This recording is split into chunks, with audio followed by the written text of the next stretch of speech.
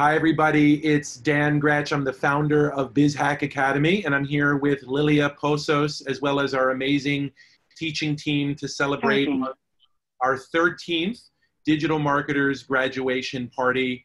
Uh, I'm so thankful for all of you showing up and being here in support of some of these amazing entrepreneurs and powerful women who we're going to be featuring in today's presentation.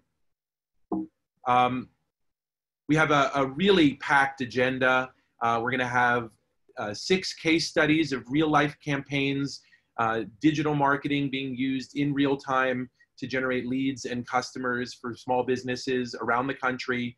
We're going to have a keynote address uh, from uh, about should your brand take a stand.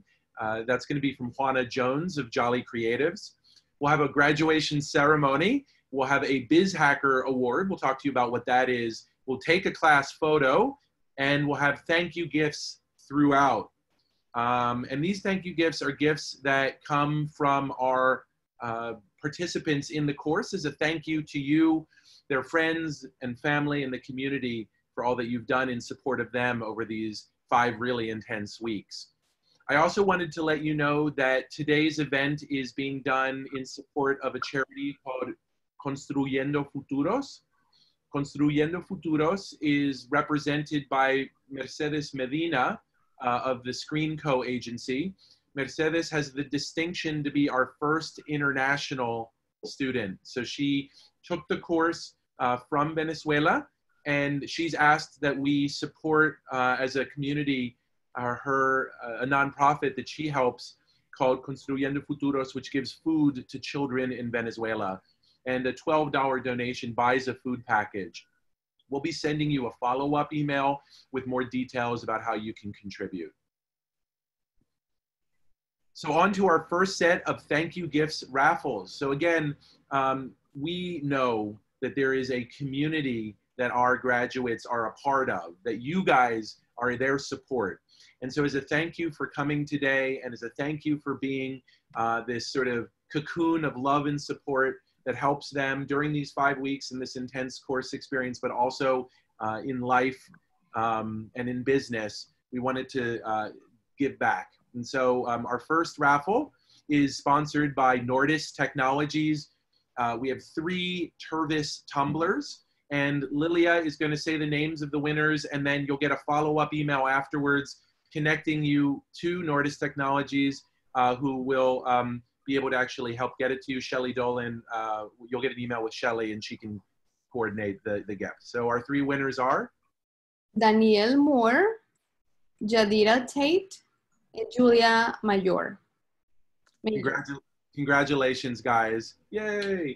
And we actually have another gift. This one is from uh, One World Learning Center. Uh, Antoinette Peters Patterson. You'll be hearing from Antoinette very shortly about her really kind of jaw-dropping results. Uh, and who's the winner of our phone grid? Carolina Garcia. Perfect. Congratulations. We're going to actually have four more raffles throughout, so stick around.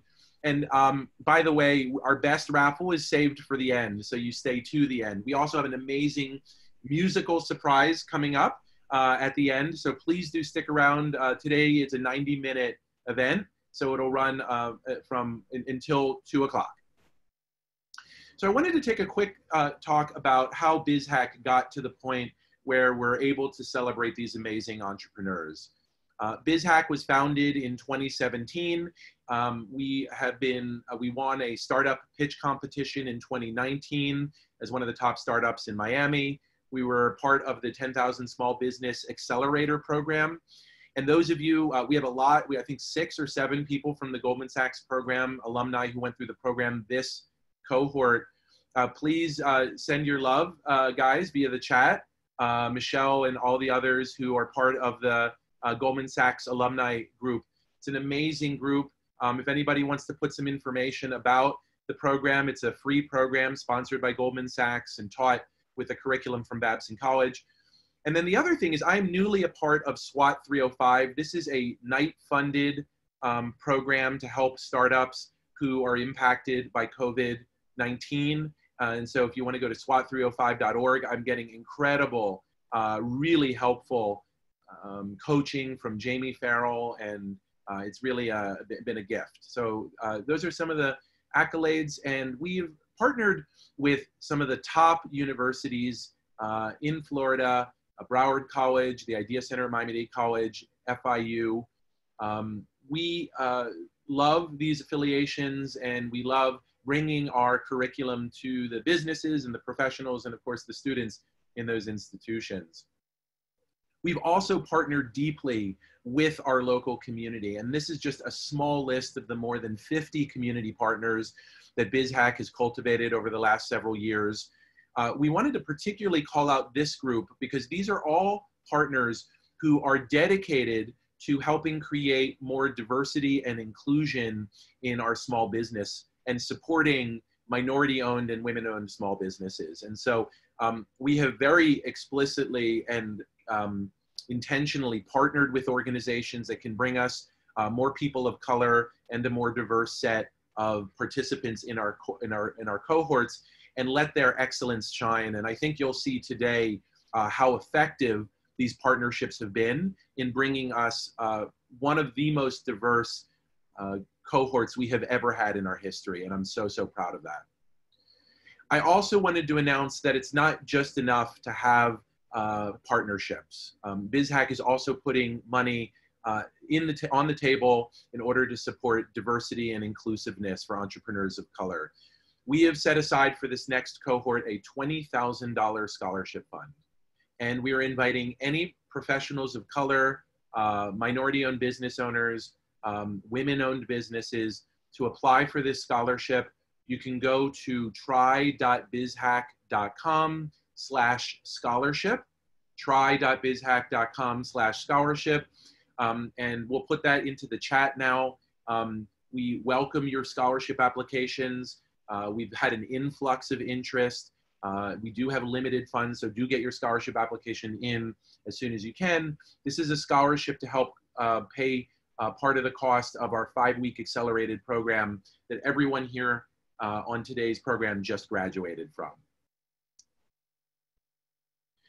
So at this point in our history, we have now had 450 businesses run through the Digital Marketer's Edge Accelerated Digital Marketing Training course. We've had very, very small micro enterprises and startups, and we've had some of the largest businesses in South Florida, including Royal Caribbean, Ryder, and NBC Universal. We've also had our graduates go on to just extraordinary places. Uh, Eileen Higgins became elected as a county commissioner. Rafael Savino of Ascendance Studios, one of our instructors, he has now been featured in national campaigns by both Google and Facebook for his digital excellence. Um, we have uh, such an extraordinary set of uh, instructors and alumni that make up the BizHack community. And we're so, so proud to be inducting another 40 businesses into that alumni group. The biggest way that we measure our impact is through the amount of revenue that we generate as a direct result of people taking our course and running through our methodology. And you can see that these were the numbers in um, 2019. Uh, we had 241 Facebook ads run by uh, more than 100 businesses. They spent $17,000 $17, in advertising while in the course, and they made more than half a million dollars in incremental revenue. That is a return on their ad spend of nearly 29 to 1. And you're going to see that this cohort beat them. This cohort beat the 2019 average, and I could not be more proud of them. We just compiled the numbers this morning. So let us talk about cohort 13. It's all about them today. Um, they are known as the COVIDs. This was a name that they chose for themselves. And the reason they call themselves the COVIDs beyond the obvious is because they are all making videos together. Uh, one of the big essential elements of our methodologies, we do require that you actually make a video in order to run an ad uh, on the Facebook or Instagram platform. So they are the co-video creators, the COVIDs, and uh, they're also wearing face masks. Uh, they are also, in part because of COVID, the first all digital and online uh, cohort we've ever had. It was all live instruction with some video support, but it was all delivered through Zoom. And um, I got to say, it didn't hold anyone back, and it also allowed us to have international participants and participants from around the country, something that we haven't had in the past. So in many ways, uh, BizHack had to pivot due to COVID-19, and we are kind of forging a new future that in many ways is even brighter and more inclusive than what we've had in the past. And I'm very, very proud of the work that our team's done to do that, uh, our instructors and our, our uh, core team. These are the COVIDs. Uh, it's an extraordinary group of businesses. Most of them are small businesses, uh, micro enterprises, um, boutique agencies, independent PR firms. Um, some of these are family run businesses. Many of these businesses have been around for decades, others are brand new. It's a real diverse set of folks, uh, B2B and B2C, product and service companies, and e commerce as well.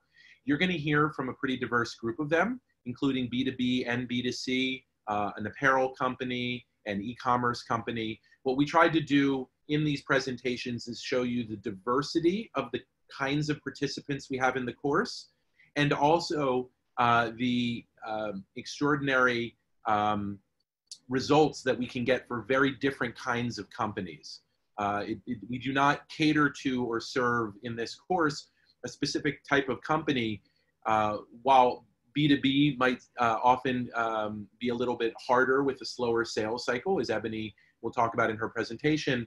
Uh, these techniques and these tactics are the core foundation and fundamentals of digital marketing. And when you apply them, watch out. These are the results from the COVIDs done in less than six weeks. They ran 49 campaigns. They spent more than $2,700 in advertising. They made in incremental revenue a lifetime value of more than $105,000. That is a 38 uh, to one return on ad spend. In other words, for every dollar they spent in advertising while in the course, they made more than $38 in lifetime revenue per customer that they acquired. Um, honestly, these are stunning results. And you're going to actually see how folks got these results with some of the extraordinary case studies that are about to come up. And so, uh, with that, uh, I'm going to welcome Kerline Jules. Um, Kerline, and for everybody, what I'm going to do is I'm going to send, uh, say, a quick introduction, and then I'm going to stop sharing my screen and invite you to share yours. You'll give your presentation, and then your coach, as well as Alex, the lead instructor, will weigh in uh, and give your um, give their, their feedback before we move on to the next person. So for all the presenters, please have your slides ready to go. And it'll start with a brief introduction from me. Uh, take yourself off mute. And then as soon as I finish my introduction, you'll get to go um, and give your presentation uh, from your own screens. All right.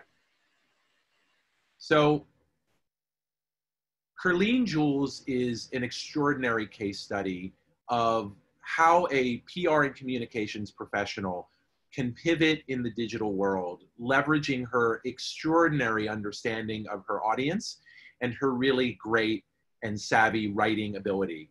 Kerline is someone who's really attuned to the moment that we're living in right now. You're going to see in her presentation how she was able to take hold of the moment and launch an incredibly uh, creative and impactful campaign that also has a social conscience. And so with that, I'm going to hand it over to Kerline Jules. Thank you, Alec. I mean, Dan. Sorry.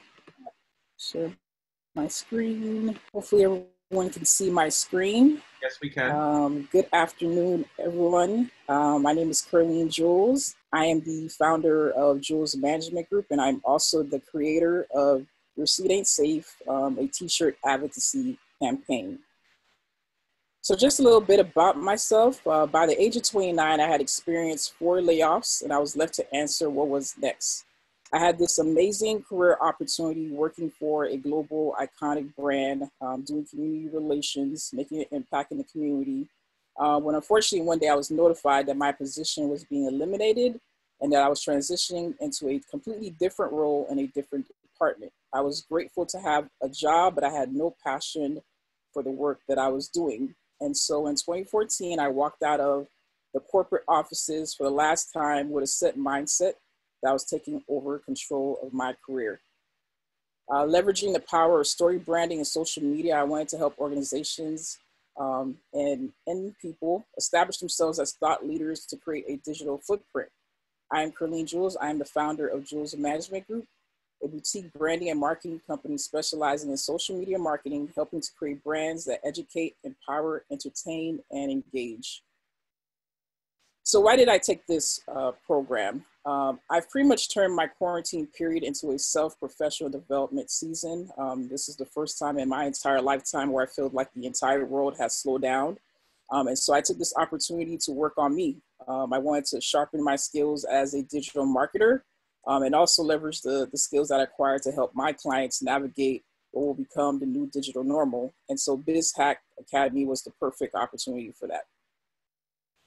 So the campaign, the case study, um, Your Seat Ain't Safe, uh, the T-shirt advocacy campaign is currently running on the Teespring platform, which is a popular T-shirt advocacy campaign platform.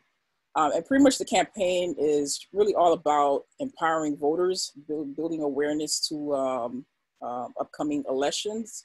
The campaign messaging is set to empower voters to understand the power of their votes in any election and it is their votes that elect seats. And it's low key a reminder um, to our elected officials who sometimes forget that we, the people, are the ones who elect the seats. So the problem, um, this is a passion, pro uh, passion project that I've been working on, on on the side. I'm very passionate about advocacy and, and social action. Um, and so unfortunately, I was, the project has been dormant uh, due to competing priorities. And so I needed to really increase the traffic to the online store. And so the perfect solution for me was to run a traffic ad, um, leveraging a, a cool video that I thought would resonate with our audience and build custom audiences against uh, the current followers on social media, email lists, and create lookalike audiences. The results, uh, the budget was roughly $75. My impressions were a little bit over 1,200. My reach was a little bit over 1,000. The link clicks was 152, and the units sold uh, during the duration of this course, uh, this program was 18.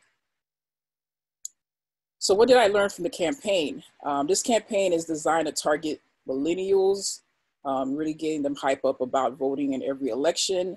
Um, but the interesting thing that I noticed with this campaign, um, for one of my campaigns, I accidentally forgot to change the uh, the max age range. Um, and so when I got my results back, the top two groups in my campaign were 45 to 54 and 55 to 64. And that was very interesting for me because I realized that I have a target market that I can further explore and possibly create a customer persona for that market. Um, Another thing that I noticed was for me that traffic ads perform uh, much better than the, the video ads. Uh, I do think that my campaign currently speaks to the, the current climate. Um, this particular ad probably ran for a little bit for a day and a half, and I was just really impressed with the engagement that I got from the campaign. This is my marketing funnel. Um, again, the awareness, uh, the reach, which the, the unique individuals who I was able to reach was 10K um, considerations were link clicks were 152. And my, again, my conversions were sales 18. The ad budget was 75 and roughly altogether the profit um, was for the shirts was $200. So I thought that was pretty good given the, the short time period that the campaign was has been dormant. Um, this is a the screenshot of the ad. Um, and so this is a probably a 15 second video stock image with a gentleman wearing the shirt. Um, and I really think it's more so about the copy. There's no there's no text on the actual video. Um, and it just really resonated with, with the audience. We had a lot of people were sharing it, commenting and engaging. And I thought that was just perfect uh, because now I can leverage that engagement and build a custom audience for retargeting. Um, so my aha moments, uh, marketing is a lot of work. Uh, please show love to your, your marketers. It is a, a lot of mental work. Uh, really spending time on customer persona is really important. We have a good understanding of your target audience and the different um, segments of those audiences. Uh, learning the key difference between Google and, and, Facebook ads was something that I thought was um, pretty cool. Also leveraging Google My Business as an instrumental, as a tool for business leads. Um, so what's next for me? Uh, I'm going to work on creating some additional buyer personas, um, incorporate some content marketing so I can really help turn this into an online movement that's empowering our communities to vote, scale up the campaign because I think it's doing pretty well. And then I want to take some additional courses on Google Analytics. Um, I do have a BI background, um, and so I want to dive deeper into the data. Um, and then I'm also taking some other programs to help sharpen myself, like the Cornell Women's Entrepreneur Certificate Program, and also doing a Facebook Digital Marketing Certificate Program. And so I hope you all will vote um, in every election. You guys can follow the campaign on Twitter, Facebook, and Instagram. They're all yourseataintsafe.com. And that's it. I'm Kerline Jules. Perfect. Thank you. Uh, the lead instructor of the class was Alex de Carvalho. I'd love for you to weigh in as well as Ricardo Barris, her marketing coach. I am so impressed, Kerline, with, uh, with, your, with your efforts, uh, how well organized you have been, how you tracked all your results so well, as well as with your uh, efforts to uh, raise awareness around voting and, and getting your t-shirts out. So I'm very, very impressed and congratulations. Thank you, Alex. And, uh, and likewise, uh, Kerline, commendations are in order. Uh, you've you've done a lot of work and you're very analytical, and and that BI background definitely helps. Um, just just coaching you through this process uh, just demonstrated that you have the capability and what it takes to really go ahead and scale those ads. So I'd admonish you to just just do that, and congrats. Um, you you did pretty well. Thank you, Ricardo thank you so much, Kerline, for the amazing presentation. And um, I'm going to share my screen again as we go on to the next presenter. Um, but I did want to um, uh, give Ebony a quick heads up that you're next. And by the way, you can see that people in the chat are celebrating our amazing entrepreneurs. Um, you know, if we were in a room right now, we would be clapping our head off. Uh, you know, Kerline's, um, you know, family would be whistling and hooting. Um, you know, I know we're in a little bit of the sterile environment of Zoom, but this is, guys, a graduation presentation. uh, graduation celebration, and I would really appreciate it if you guys could show the love on the chat uh, and do everything that we can to take the slight awkwardness of doing a virtual graduation and make it feel a little more homey and show a little bit of love. So thank you, Marta, Antoinette, Regina, Wendy, all of you guys for uh, blowing up the chat right now. Really appreciate it. And I would love for some of our guests as well uh, and feel free to put in reflections um, or commentary as well. Um, you know, I, I, know our entrepreneurs are always looking to improve and that would re really welcome that. This case study is by Ebony Smith of the Ebenum equation.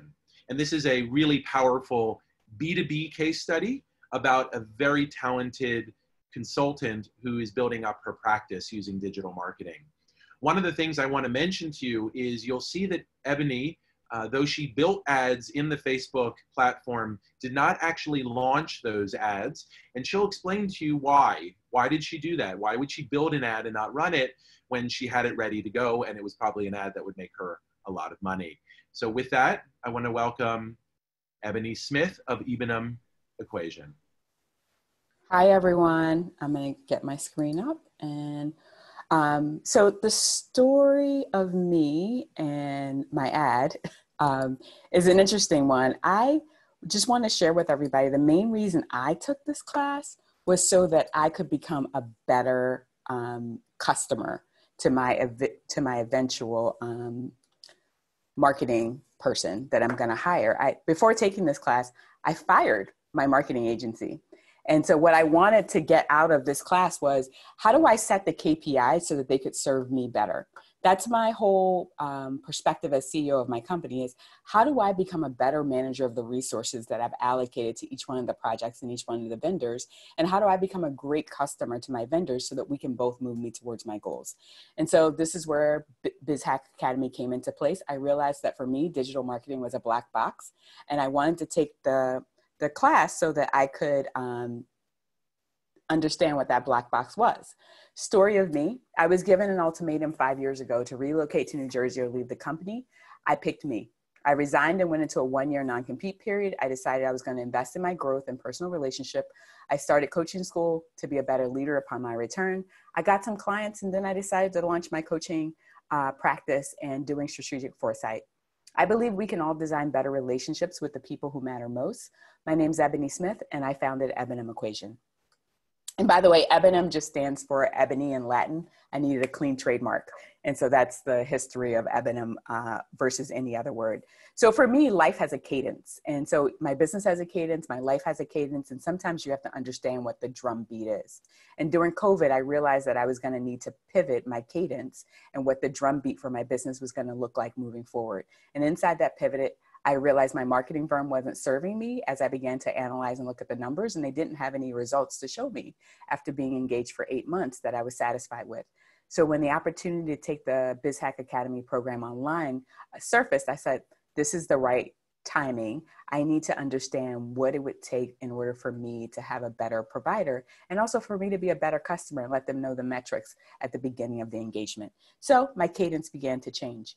So here's some of my accomplishments. As Dan mentioned, I didn't actually run an ad, but I wanted to know the basics behind it and set up the um, Facebook uh, business manager and how it all worked so that when the uh, marketing company comes in, that they um, have the strict KPIs that I'm looking for and then I can go in and check. So um, some of the things that we focused in on class was looking at our funnel. This is the typical funnel I use for my business. I do conferences and uh, executive roundtables. I do some social media posts and magazine article writing. I also get referrals from clients and I do a lot of relationship buildings through emails and capabilities briefing. This is just my funnel that I typically use to bring business into, um, to bring engagement into my business some of the things that I did do um, around the business, and this is the real reason that I was hi- I, I'm hiring a marketing firm, is that my ICF uh, coaching program got accredited during this period. I knew it was coming. It was in my business timeline. And I knew it sometime over near the end of the summer as I began to launch my next cohort, I'd want to engage a marketing company to help me with a solid digital strategy to fill the spots in this new product that I'm launching um, out of beta. And so, really, this was about how do I learn the information I need so that I could do a great product launch in about 60 days. And so I think I got that information during class today. So this is the program. This is my beta cohort. The website and everything is up and live. And I began to interview firms that are going to help me. So I'm really excited about this stage in my journey. I also, because Alex focused on a lot of different ways that we could do digital marketing besides Facebook ads, I really dug in deep to those. And so I increased my social marketing, um, my social media posts and presence uh, across three platforms. Uh, I began to do a few more things around engagement just to help me. Um, my engagement did go up on LinkedIn, so I'm quite happy about that. And so these are some of the, some of the non-ad things. I also pivoted to virtual speaking during this time. So I revamped my website, the speaker page, and some of the collateral that goes along with it, just so that as the industry changes from me speaking at conferences, that I have the um, know-how and the skill, and I have a funnel already set up for v- virtual speaking um, revenue stream for me, which is a great way that I typically do marketing for um, my company and its services, is to get on stage, speak, and then people come up and want to talk to you afterwards. And so this pivot of during COVID of going into virtual really has helped me.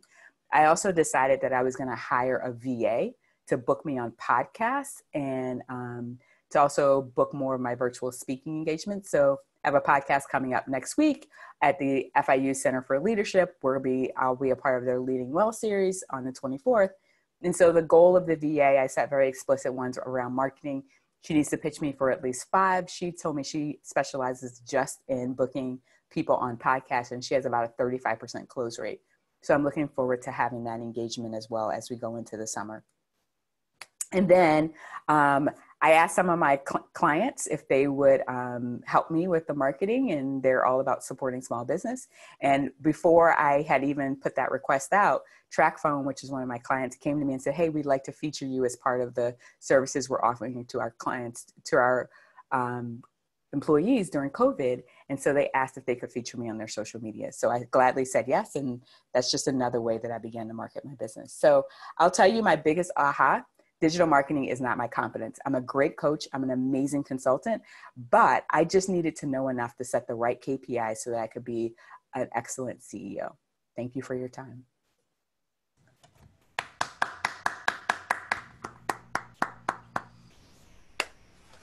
So, Ebony, you've been uh, really uh, busy with all these things, and congratulations on your accreditation. That is amazing. Thank you. Very awesome. But uh, I, I, like all these different moves that you made. I also like that you got more engaged on uh, social media. That's fantastic. Um, I think you have a great presence, great energy. You're very articulate, um, you know, um, and I think that you would be great on video. And even if you did video ads or you just did short video posts, and you know, if you want to do virtual speaking, then it's important for uh, the event organizers to see um, to see you on video before. So I, I, really encourage you to go that way. I, I know you may not be comfortable, but uh, from what I've seen, uh, you you are, are great on video. Thank you. I appreciate that. And I want to echo Alex. I think Ebony is the type of entrepreneur that takes the bull by the horns. And the fact that she looked at things in a different manner of what do I need to teach myself to be a better customer and a better client to all these other companies that I'm outsourcing to um, makes her a better entrepreneur and a better business person. So I commend you for learning everything in the background so that you get your money's worth. And I love how you challenge everyone that you hire to give you those KPIs. So congrats, Ebony. I look Thank forward you. to seeing that video, Ed. Thanks. Bye. Thanks, everybody. You know, I, I, I often hear from folks say that they are, um, you know, taking BizHack's course as a business owner, not because they want to learn how to run their own Facebook ads, but because they want to know if the person they hire, whether it's on their staff or in an agency, is doing a good job. And one of the things when a business owner tells me they have an agency and they're not doing a good job for them, I ask them, well, how do you know? And often you'll find that business owners don't know enough. They haven't mastered the basics to be able to actually evaluate the success of the people they hire and have running their digital marketing. Um, it's not an unrealistic expectation that you should be able to attribute revenue, as we see with our group in five weeks uh, you should be able to attribute revenue to your digital marketing efforts. And I think that Ebony's insight that eight months was enough time with her agency, but also that the agency, but that she didn't know who the right agency to hire the next agency would be. Uh, I think that insight leading you into the course was a, a really savvy one and one I welcome. So this case study is an extraordinary example of how sometimes feeling like you don't know what you're doing doesn't matter because you know your business. And if you know your business, then your marketing is going to be better than if you outsource it to someone who doesn't know your business. So I want to welcome Antoinette Patterson uh, and, and her uh, One World Learning Study, her One World Learning Center case study. Welcome, Antoinette. Okay, um, so my name of my business is One World Learning Center. It's a child care center, and we um, teach kids ages infants to five years old. And we have a, a summer camp and a after camp um, for ages five to nine. I gotta go to my next slide. Okay, I gotta figure out how to work this. Okay. The story of me. I attended St. Thomas University and I got an undergraduate and a graduate degree in accounting. And I also am a certified public accountant. I also went to Harvard School of Business and got my certification in achieving excellence in community development. So my story of me is really not about me, it's about my son. Um, for me to get where I am to open up a child care center had nothing to do with me at all. I had no interest in wanting to have a child care center, but I'm glad I am where I am today. And that's all because of a severe injury that happened to my son. He was about 16 months old and it was a local child care center in Miami-Dade County where he um, actually severed uh, his tongue. And um, what motivated me more to open it because I was really angry, I was really upset, but I said, let me take that anger and make it into something positive. So um, I decided to open up a child care center. And the problem with that whole incident that happened was I was never notified. No one never called me on my job. They never called um, his father to let him to let us know what had happened. We only found out once we got him home and he started crying, and then we noticed that was an issue. So One World Learning Center was born in 2005. So I was so excited. So now I figure that all child care centers are not out to educate or to really keep kids safe. They're just high class babysitters. That was how I took that whole incident that occurred with my child. So why did I take this course? So I want to understand social media. So you know when you think that you know what you know, and you get out there and you do a little, fo- you know, a little Facebook uh, ad on Facebook with your friends, and you say, "I want to add a little boost," and of course that return didn't really return any um, revenue back in my pocket. It just let people know that my school was doing something. So I want to understand social media more. I want to understand how to run Facebook's ad, ads and I want to see how I can reach customers to come to my school in the location where my center is, probably within a three mile radius. And then I also want to understand the verbiage of setting up a Facebook ad. So I was very glad that I had an opportunity to meet Dan, and we both graduated with a uh, small business, Goldman Sachs, and we were cohort 18 graduates. So I'm glad I met you, Dan, and it turned out that me not only taking this course to understand Facebook or to understand social media marketing, but it also helped me because I'm also redesigning my website. So I learned things that um, Alex was teaching us in some of the classes about pixels. And I'm like, what is a pixel? You know, and you got to make sure it's on your website. And then I didn't know that we had to have a private policy on our website. So me taking this course also helped me to make sure that when I go to my website designer, doing his process of designing my website, you know, I try to act like I knew everything. I think, okay, you got to make sure you have the pixels in and put private policy in. So, you know, I'm all excited because I learned a little something. So thank you. That, that was a big help. So my problem was at my school is I need to figure out how I want to grow my after school program, how I want to grow my summer camp.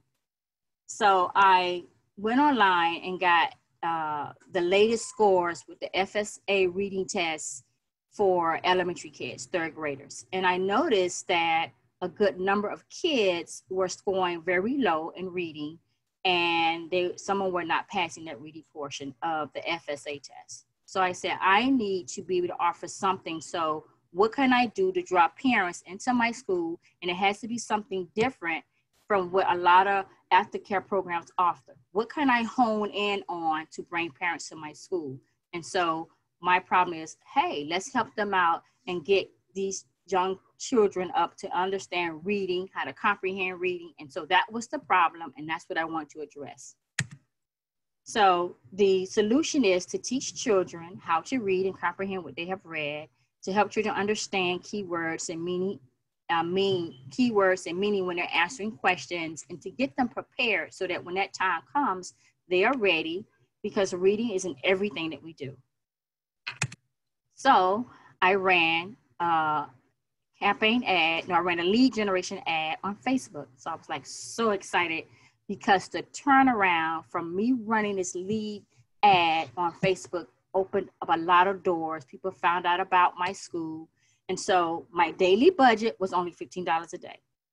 I made sure I only targeted female uh, mothers, pretty much mothers that are between the ages of 18 and 55. And I stayed within my radius of my school and I pulled out interest of what I think may be to target some of those uh, mothers that are out there on Facebook.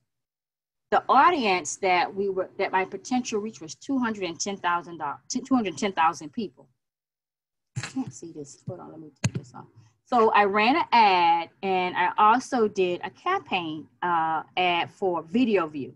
So I had my campaign ad with video views running at the same time my lead generation ad ran. I had a lot of people that I reached with my video ad, but I didn't get the results. But with my lead ad, I had a lot of people, and I'm still getting lead ads, people uh, going on my Facebook ad and giving their information. So right now I'm at 35 um, raw leads that I'm calling to get them to um, enroll, whether it's be in my summer camp program or to come enroll in my school come August. So the, the, the, the ad did. So I spent about $203. I reached 5,082 people And so far, I have 31 leads. And as of today, this morning, I'm at 35 leads and still counting. So my cost per lead, just based on the 31 leads at the time that I did my PowerPoint presentation, was 31. And that's $6.55 for each lead that I've gotten in so far. So that's like a big plus if you really think, because Facebook ads or any ads that you run, especially the lead ads, it really works. So I'm excited about that, like really excited. So what is my customer acquisition cost?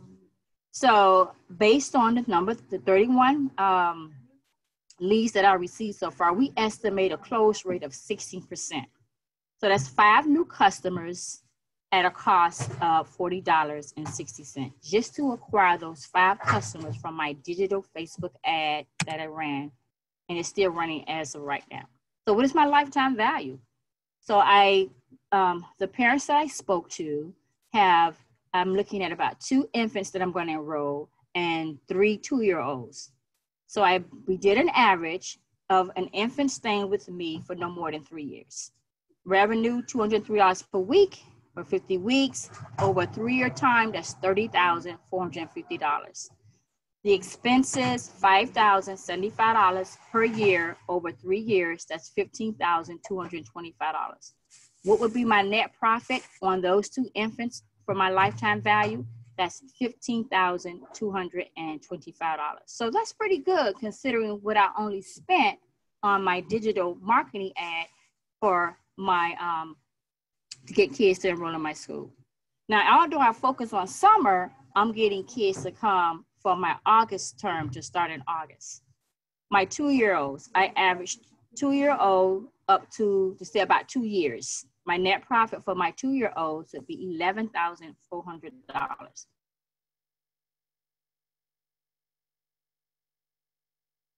So if you think about it, my cost and my lifetime value, uh, that's pretty good considering what I've spent. So here's my so here's the marketing rule. If your life uh, lifetime value exceeds your cost to acquire, you're doing really good. So if you look at my return on investment, that's 317 times over what I spent. So that's $64,500 in revenue on a $200 ad. Can't can't beat that. You can't ask for more. I mean, that's like pretty cool, right? So um, that's $370 in revenue for every dollar I spent for my ad. So what's next for One World Learning Center? What's next for me? I need to set up an email template. I'm going to use MailChimp because I learned about that also in BizHack. I want to redefine my audience. Okay, so not only when I do I want to run lead ads, I want to run other type of ads that we learned during BizHack during our class during our course. And the reason why I want to do that because I want when parents or anyone that's on Facebook, because you know a lot of young people are on Facebook, I want them to be able to, as they're going through one world learning center, constantly popping up, constantly popping up. So you always got to keep being out there and letting everyone know that you exist. Because if you think about um, McDonald's or Burger King, who's been here for years, but if you notice, they're always running, they're always running some type of advertisement. And that's what I want to do. I want to keep my name out there. So everybody can say, remember that one word, one word, where are they? And I'm still getting parents today that are still calling me now. I spoke to like two new parents that came on my uh, lead for my lead ad that's asking me about wanting to enroll my to my school. So like kudos for me, right? And the other thing is I want to have a waiting list. And I know that I'm going to get to that waiting list. The only interesting thing about childcare and waiting list that I'm going to have is that um, a lot of the kids that attend my school, because I serve low to moderate income family, families, their cost of their childcare is pretty much almost 100% paid.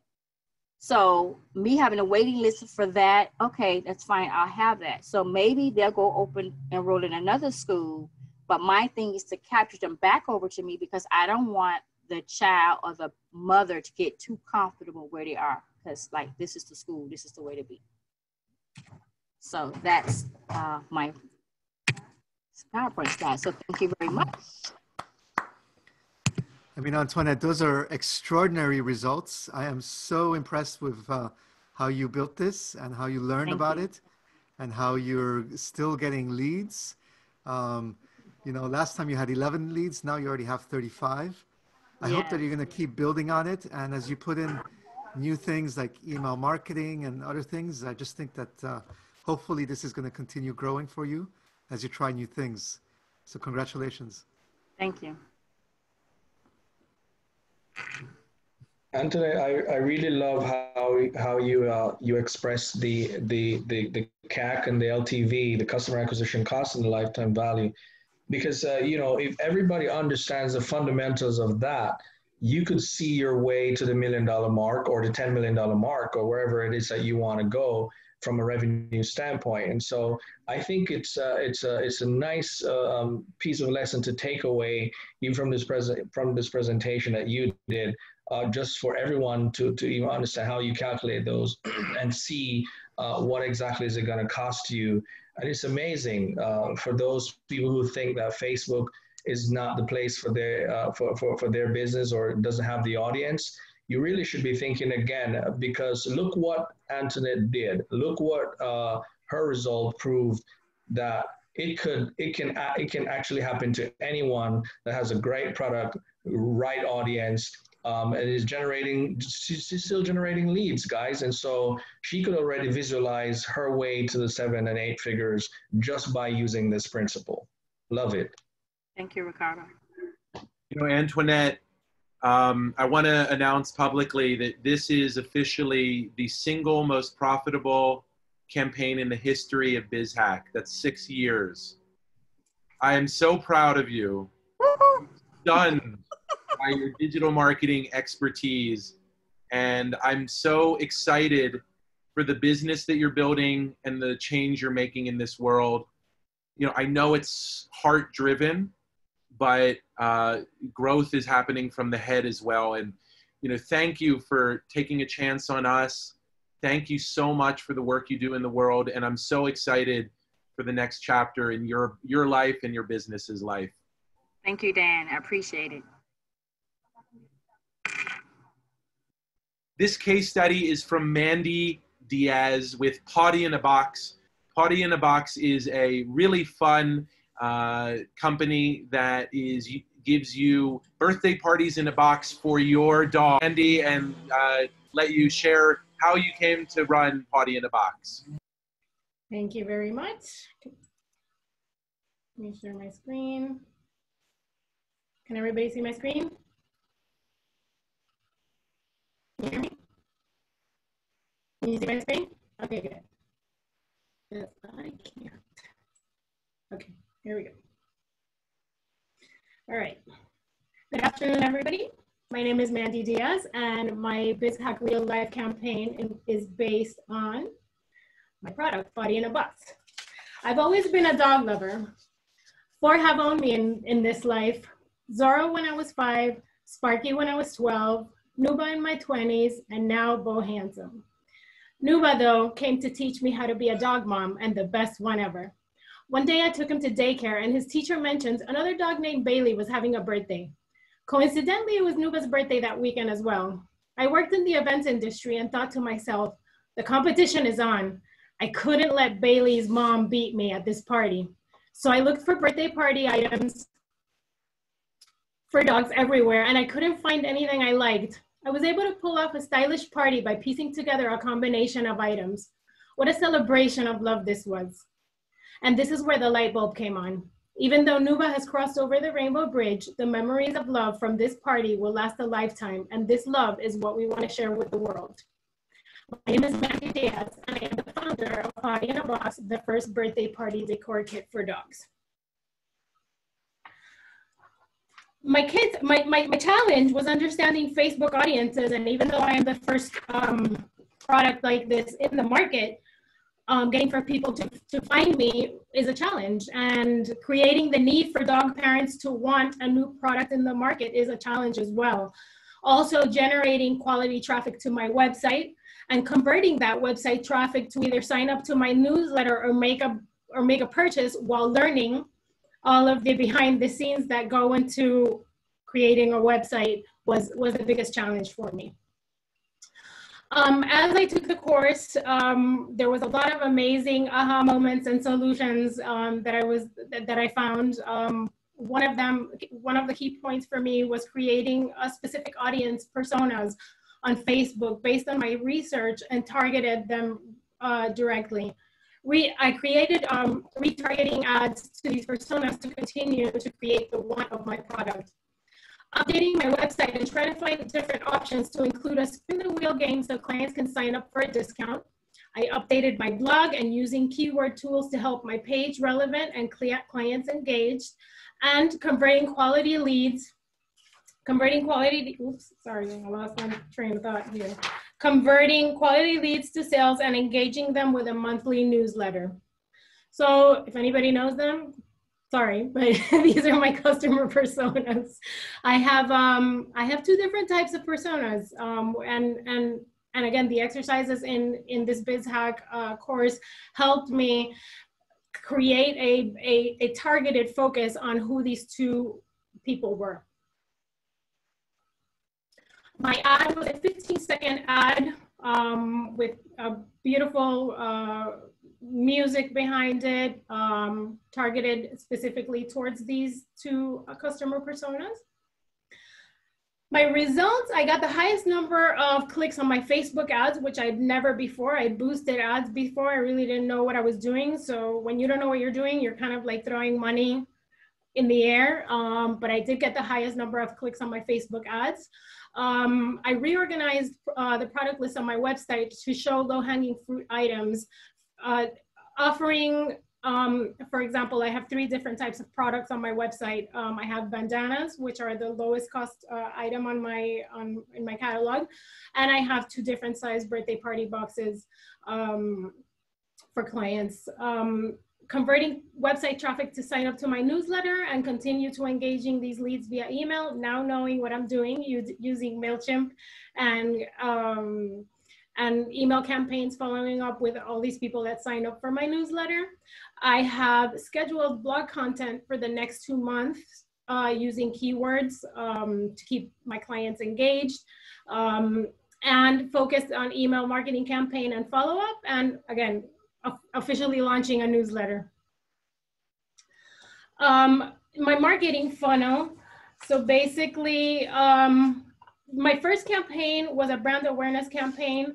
I got uh, four, four, as you guys can see, 4,452 impressions, um, 37 link clicks. Then I retargeted it um, to these uh, customer personas. And I got a 34% increase in online store sessions and a 200% increase in online store sessions by Facebook. My, my ad ran for three days. I had a budget of $50 and I got two sales for a total of $58. Uh, my biggest ahas was to laser focus on my audiences and my customer journey. Organize, I organized my content calendar for my blog, email marketing, and newsletter, and created uh, an effective process for myself. I mapped out and set up an effective nurture email campaign for my clients. And another great aha was understanding my ad results with my coach and what to look for to continue to work on my ads efficiently. I recently ran my third ad. Um, it's live right now, and um, I'm super excited to see the results. So um, What's next for me? I'm going to launch new ad campaigns and start testing them with my core audiences. I'm going to create a few more customer personas and continue testing different products and ads. My blog content is key. Email marketing campaigns, newsletters, and scale pawty in a box. Thank you very much. If you have any dogs, visit my website, pawtybox.com. Again, it's not party, it's pot like a pot. Thank you very much. Way to go, Mandy. Mandy, that was great. Uh, you have such great uh, energy, the and it's such a fun concept, uh, and everybody loves pets and animals. So I mean, uh, it's sure to be a hit. You know, your ads were great. Um, probably you have a persona in, in families that have a kid. You know, a kid and a pet. Oh, Alex, you muted yourself. I muted myself. Okay, so probably you have a persona in, in a family that has a uh, a child and a pet, because the two personas you showed, I don't think they have children, uh, but probably it's even more fun when there's a child in the family. So uh, hopefully you can uh, figure out the customer mapping uh, you know, um, and uh, and this will uh, bring you results. So congrats. Thank you. Thank you so much. And, and as Mandy's coach, it was really fun to see how her audience evolved. I think when we first started, there was, you know, you think pets, you think everybody loved pets, um, and that it would be easy to target ads towards, you know, basically everybody in America that loves dogs. But you really have to be intricate about who you're pitching because not everybody um, wants to do a dog party, not everybody can afford it. But she did a really good job of really looking internally at who her core people were, who were her top clients, and developed a formula to create an audience that I think is just going to keep improving every single time. So, congrats, Mandy. Thank you. You're getting a lot of love on the chat, Mandy. Your energy is amazing. Thank you so much. And I'm glad to say that Michelle is back, everybody. This case study is with Michelle Benesh. Michelle is an extraordinary example of someone who started out working at Menu Men as their head of sales and then went on to take over the company. She was also handed uh, a little bit of a mess on the marketing side. Her predecessors did not keep the contact information in a systematic way of their customers, let alone their prospects. And so, and so though they've been in business for many years and have done business with literally thousands of restaurants, uh, Michelle had to spend nights and weekends cobbling together the most basic elements uh, of a foundation of a marketing strategy, doing it while pivoting her company in a time of real peril for restaurants due to COVID 19. It's with uh, incredible excitement that I present you Michelle Benesh of Menu Men. Hi, guys. Okay. Good afternoon. I am Michelle Benesh with Menu Men. Menu Men is a manufacturer of custom designed menus. We were founded in 1968 by my father and grandfather, and um, we are uh, one of only two that are solely based in the United States. I started out with the company because I found myself uh, newly married in New York City and interviewing for the same type of job I had in Miami, which was international marketing. I realized that if I was going to be traveling that much and uh, spending, you know, 60 to 70 hours a week at the job wasn't any use to get married. So I reached out to the family and asked to start a, a division of the company in New York City. We were, I was there for three years and uh, grew the sales for Menu Men by 30%. What I realized when I was there is that sometimes the, the quality of the product wasn't as detailed as I would like it to be. So I moved down with my husband and a newborn baby, came to Menu Men and helped the corporate office really concentrate on the details. Because of this service, I was able to now say that I have worked with the best names in the hospitality industry and we have an amazing product that actually uh, wins awards all over the world, not just the United States. And since that time, I have taken over 100% ownership of the company and, um, and love each and everything we do. So we were having the best year ever. And uh, the sales uh, for the last six years have just rapidly increased. And then we got COVID 19 or 17. And literally within two days, the, the phone stopped ringing. And two days after that, there was just not a sale to be had.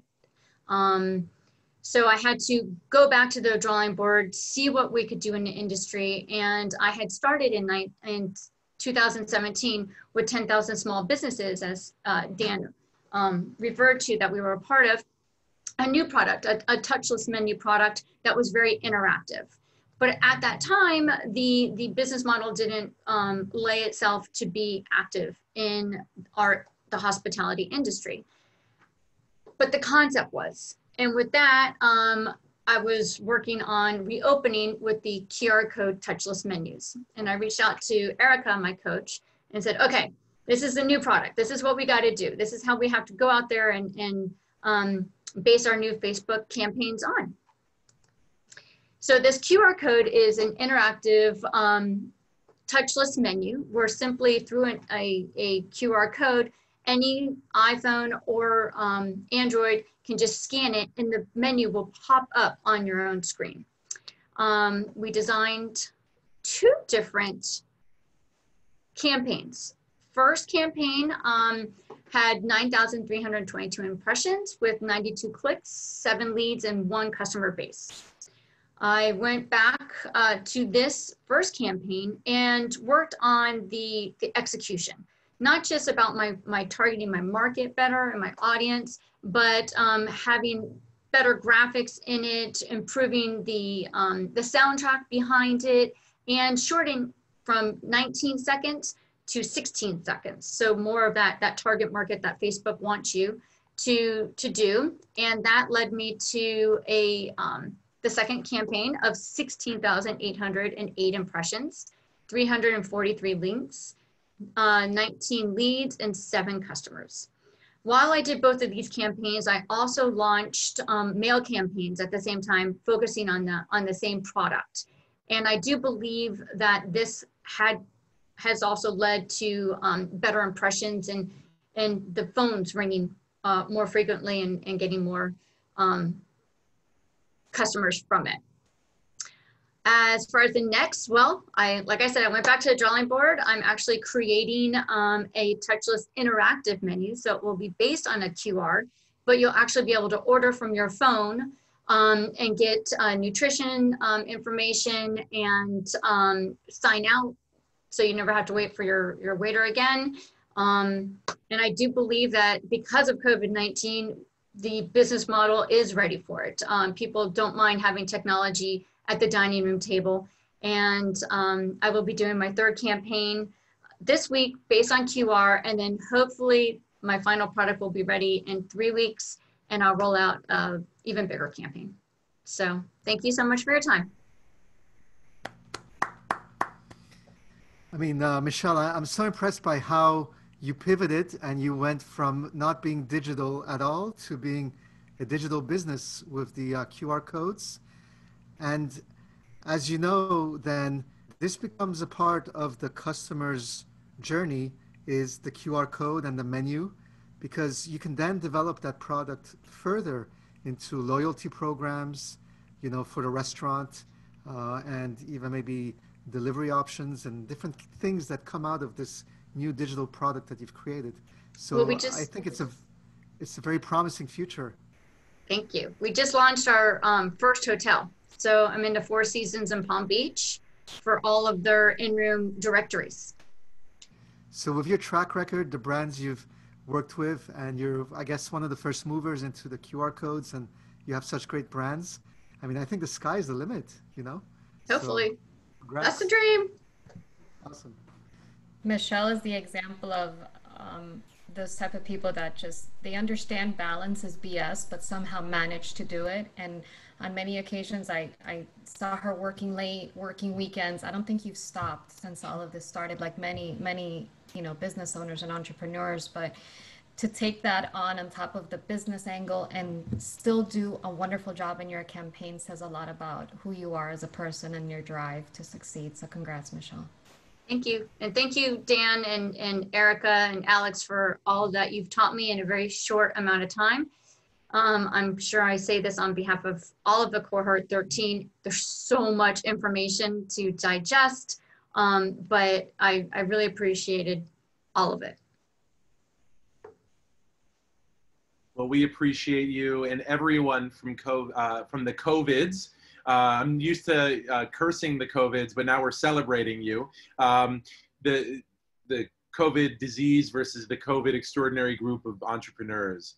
Um, I wanted to share with you this learning journey. Um, these are, we are constantly monitoring the progress of our students as they go through this course experience. And this is a, an extraordinary testament to the group learning that happened from the beginning just five weeks ago uh, to where we ended up today. You can see on all of the 20 main learning objectives, there was incredible learning happening across the board for the whole group. Um, and uh, the level, uh, the, basically, we begin to consider um, group uh, mastery at the level seven. Um, and so you can see that uh, this group uh, mastered more than three quarters of those learning objectives as a group uh, and in just a matter of weeks. You guys have so much to be proud of. We saw your hard work and your dedication and your uh, incredible spirit, and we wanted to salute you and also give you some numbers to show that uh, there was a demonstrable, incredible increase in knowledge and confidence from all of you over the course of this time. We're going to send uh, a couple more thank you gifts raffles, and Lilia will uh, give us the names. The first is from Marta Siebenhaar of Cultured Innovations, an extraordinary um, consulting firm, works with a lot of arts uh, and other types of nonprofits, arts organizations and nonprofits. And the winner of an Inspiration Cards card deck is? Alejandra Silva. Alejandra Silva from CIC, I think. Uh, congratulations. Um, our next um, gift is a $50 gift card uh, for any product from Michelle's Menu Men. Uh, and the winner is? Rosemary Ravenel. Rosemary, one of our featured speakers from a few weeks ago. Welcome, Rosemary, and congratulations. Uh, it is with incredible honor and distinction that I want to welcome our keynote speaker, Juana Jones of Jolly Creatives. Uh, Juana has uh, more than a decade of experience as a storyteller and fundraiser. She's worked at the Florida Department of Health and the Atlanta Housing Authority, and she's a graduate of Florida State University. But it's really as the founder of Jolly Creatives, a storytelling and branding agency, where I really think that Juana has um, shown her extraordinary skill, nuance, and intelligence. And uh, BizHack hired Juana uh, to help us with our social media. And BizHack has relied on Juana uh, on how to think about this question, should my brand take a stand during this extraordinary moment that we're living in? Uh, so it's with great uh, pride and, and incredible gratitude that I hand uh, our keynote address for our 13th graduation celebration to Juana Jones of Jolly Creatives, a two-time BizHack alumnus. Welcome, Juana. Thanks, Dan. Um, let me see here. Hold on, uh, share screen. Okay, here we go. Okay, so uh, hello everyone. Um, uh, congratulations to the graduates. Um, that is incredible. Dan, I'm congratulations to you and the team for um, having such amazing results this this time around. I think that that's everyone's presentations have been very impressive. So, um, talking a little bit about, you know, should your brand take a stand? Um, so, that's something that I think a question that's been on everyone's mind um, lately, uh, regardless of your personal feelings about everything that's been happening in the world. Um, you know, you're thinking, should my business have something to say about it? So before we get into that, I'll tell you a little bit about me. Um, I've been a business owner since 2016. Jolly Creatives is a boutique marketing agency. We service small businesses and nonprofits, um, and we primarily focus on working with those that are launched and led by women of color. Um, I have over 12 years of experience working in various industries, so universities, large and small nonprofits, um, law firms, medical practices, design and marketing agencies, event companies, CPAs, supply chain companies, municipalities, um, and network organizations, um, and more. So I'm very proud of my heritage. I am a Black woman, and um, I have, you know, a variety of, of um, uh, I come from a variety of, of people across the diaspora, um, and I just celebrate that in the way I wear my hair, the foods I cook, the jokes I tell, um, the organizations that I'm a part of, and um, so you know, with everything that's been going on, um, it has it has definitely uh, affected me on a personal level and affected the the people that I uh, come into contact with on a regular basis. Um, so I definitely am a strong believer in storytelling and brand impact. I think that whatever your brand does, um, whatever the service is, whatever the product, you definitely want to have some sort of impact um, with your storytelling and uh, with your business as a whole. I've been featured in the South Florida Times, Gospel Truth Magazine, and a few podcasts. And most recently, I was featured on the Skimm podcast. I don't know if you all are familiar with the Skimm, but it's a news outlet that is for women on the go who want to get, you know, the latest headlines. And so they have a podcast that they launched recently, and I was one of the small business spotlights. Um, in addition to being a business owner, I am a writer. I write fiction, um, and in addition to writing web copy and um, and stuff for my clients, I also am an artist. I paint. I'm a wife, mother, daughter, sister, and friend. So, what does taking a stand look like? What does it mean? Um, in 2020, it looks like you know having a stay-at-home message, supporting um, you know the or promoting the CDC guidelines and you know all the things that have been coming out about how to stay safe during COVID-19. It looks like supporting the recent legislation and things that have been happening with the LGBTQ plus community. Um, and uh, specifically, what I'm going to talk about is um, you know taking a stand in 2020 right now today looks like uh, having solidarity with the black lives matter movement specifically uh, with anti-racism and uh, police brutality standing against those things. Why is it important? Um, so, brand storytelling, as you all know, I've heard you all talk about your story of me. So, you all um, are definitely aware of the importance of brand storytelling. It's how you stand out, it's how you connect, it's how you eventually, you know, generate revenue. Um, you because your story is, is impactful and moving to people. Um, a lot of your storytelling is built on your values. And a lot of those values come from the personal values of the founders of companies. Um, and I think that as small business owners, we definitely need to make sure that we have a corporate and social responsibility um, aspect to our businesses. Um, you know, and sometimes that's easy to do. It's not really controversial to feed the homeless. It's not really uh, polarizing to read to children from underserved communities. Um, but you know, sometimes you can't always do business as usual. And so, particularly with what's been going on lately, um, you know, you, you have to ask yourself do we stay silent? Do we speak up? Um, and which one is in alignment? Is staying silent in alignment with our brand values and, and, and the story that we tell, um, or is speaking up in alignment? So, how do you take a stand. Um, when you decide, okay, we're going to speak up, we have something to say about this, you definitely want to check that your stance is in alignment with your brand values you definitely want to assess your own level of comfort or your personal level of comfort as the business owner. Um, and you also want to assess the level of comfort that whoever's helping you craft this message. Um, you definitely want to make sure your messaging is mindful. So that probably requires some research if you are not intimately familiar with. Um, you know, with social justice issues or with race, you know, anti-racism work or anything like that, you definitely want to make sure that you do your research. Um, I would say that you don't need to shy away from transparency. So if it's, you know, we've never done anything like this before. We we are, you know, we're we're talking to you about how to make vegan waffles. We, you know, this is not something we do, but we did think it was important because it's a value of ours that, you know, everyone has access to whatever, whatever um, you definitely want to make sure that the messaging is placed strategically. So if you if it's an email campaign, if it's a tweet, if it's a tweet, you don't want it to be too short. You know, there's you only have so many characters that you can use in a tweet, but you definitely want to make sure that your placement is strategic so that the statement lands um, with the intent that you have. You don't want it to come across as not enough. Um, and then, you know, on the next slide, I'll give some big brand examples. So how to take a stand the right way. So I picked these two um, these two companies not necessarily because their stances align with mine personally, but because um, they actually have a history of having values that are rooted in and align with the statements that they made. So Ben and Jerry's had a very bold statement. Uh, you know, we must dismantle white supremacy. Silence, silence is not an option.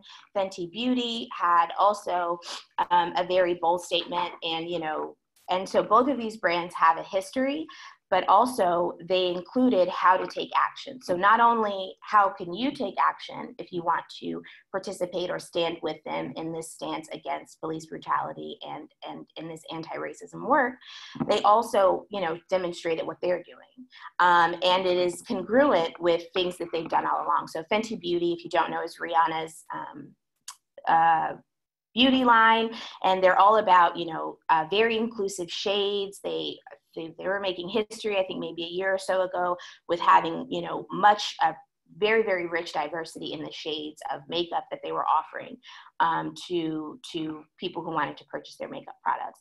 And then ben and jerry's has a long history of doing social justice work. So they don't just have crazy funky ice cream names um, but they actually i've met um, like one of their founders at uh, at an event.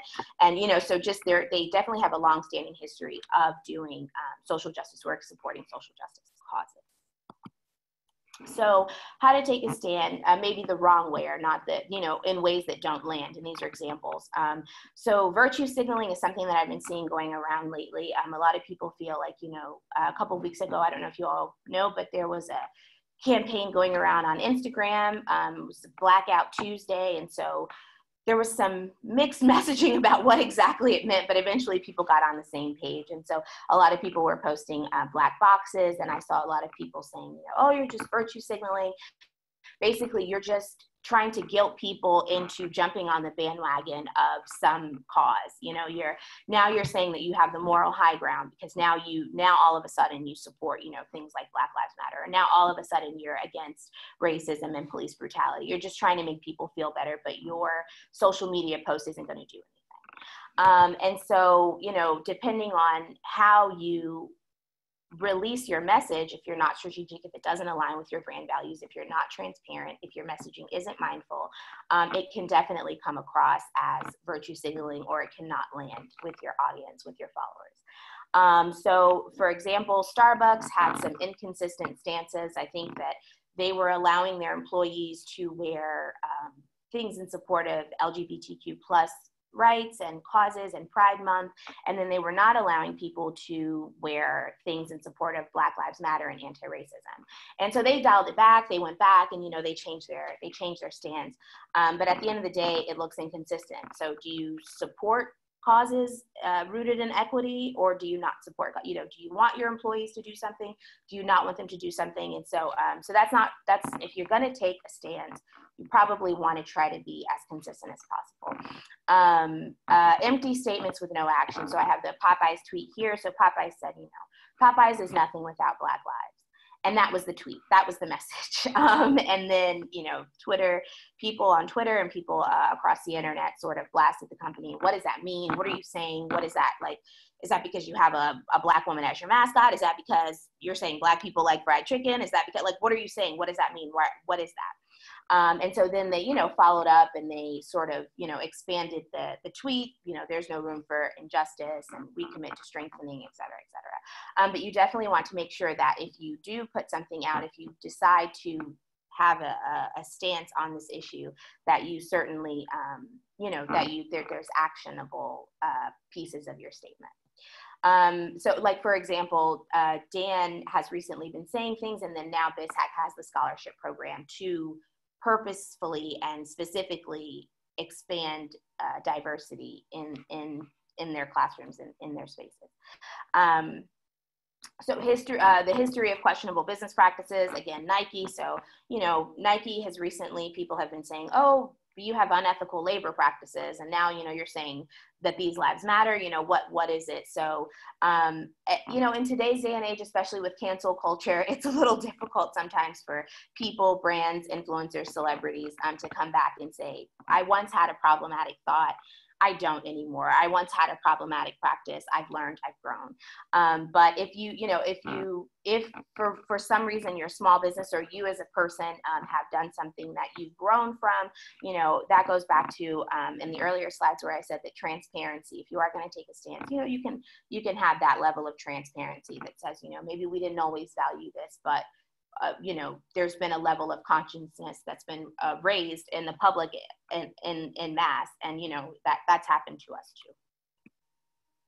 So does your brand value inclusivity? Uh, representation certainly matters. Um, as you know from the story of me, from your segmentation, from building out your customer personas, you know that people want to see themselves um, and people certainly identify parts of themselves where they spend their money. So whether that's a t-shirt, whether that's a daycare, whether that's a dog grooming company, um, there's something there that connects.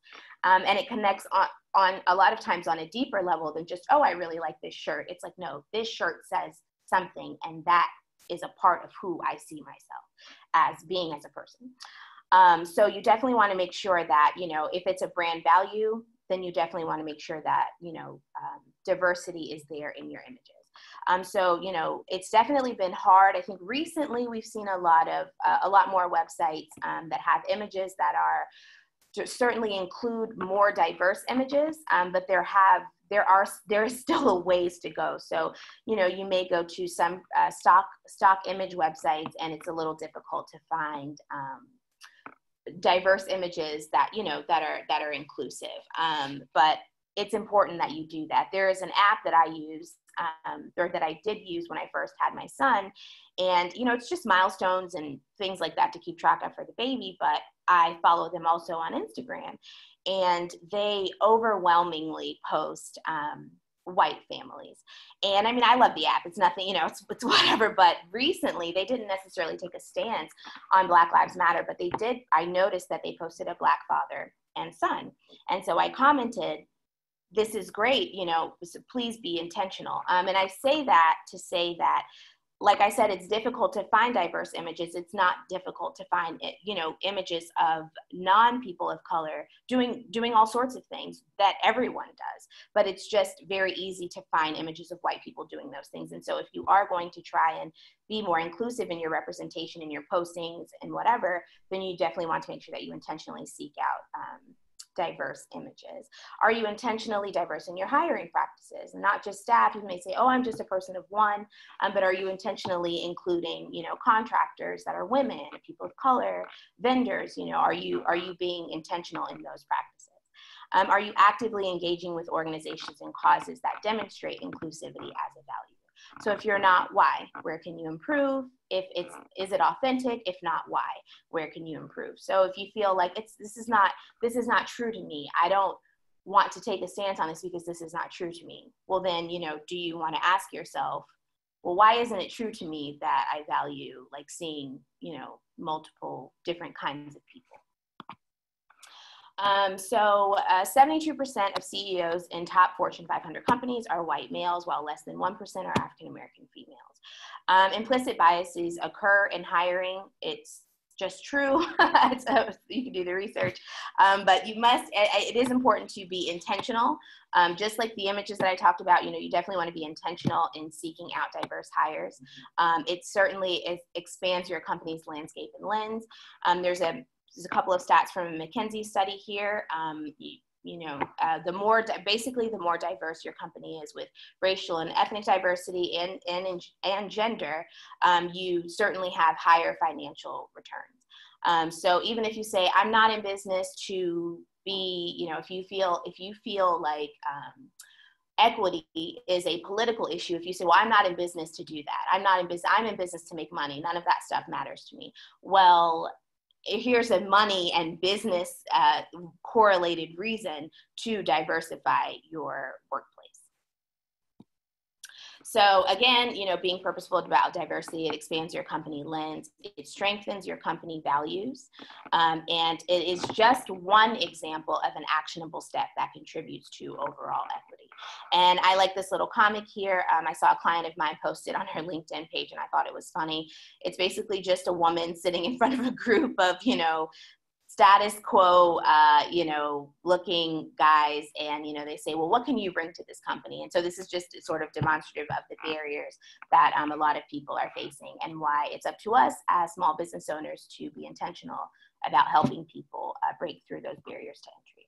So, what is the right answer? Should my brand take a stand? There isn't one.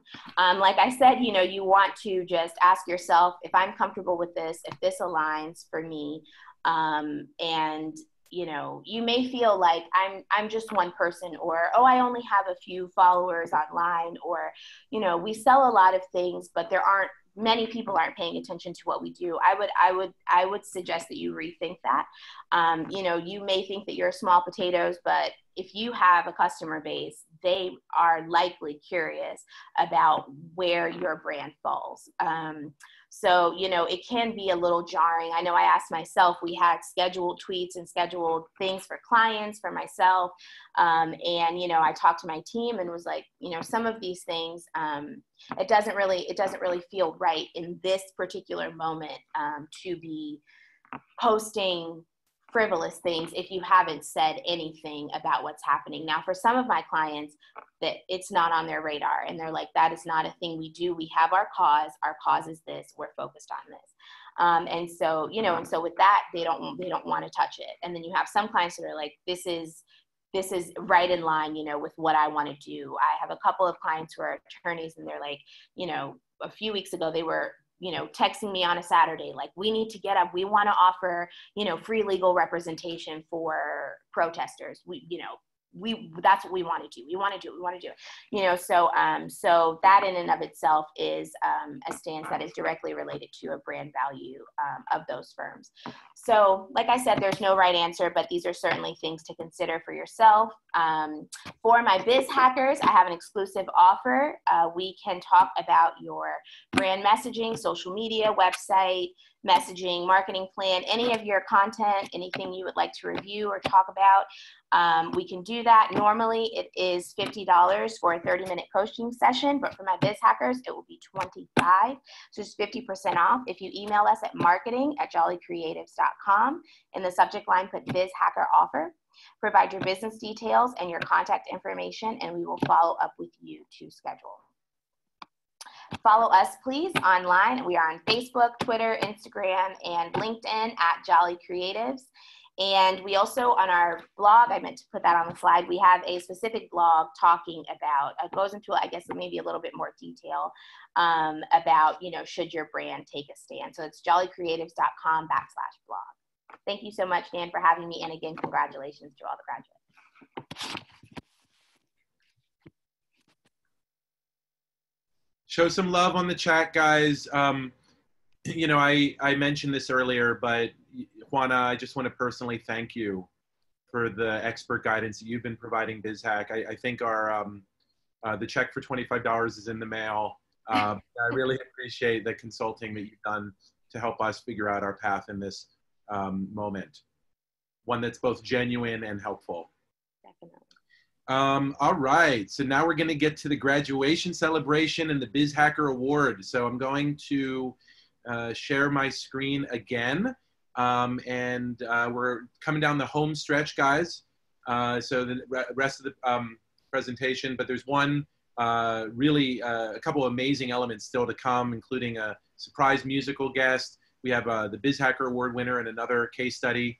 Um, so, but before we get to all of that, uh, because we know um, you know folks uh, have time. We're going to do a class photo, um, and so everybody uh, who's in a position to, please turn on your video screens.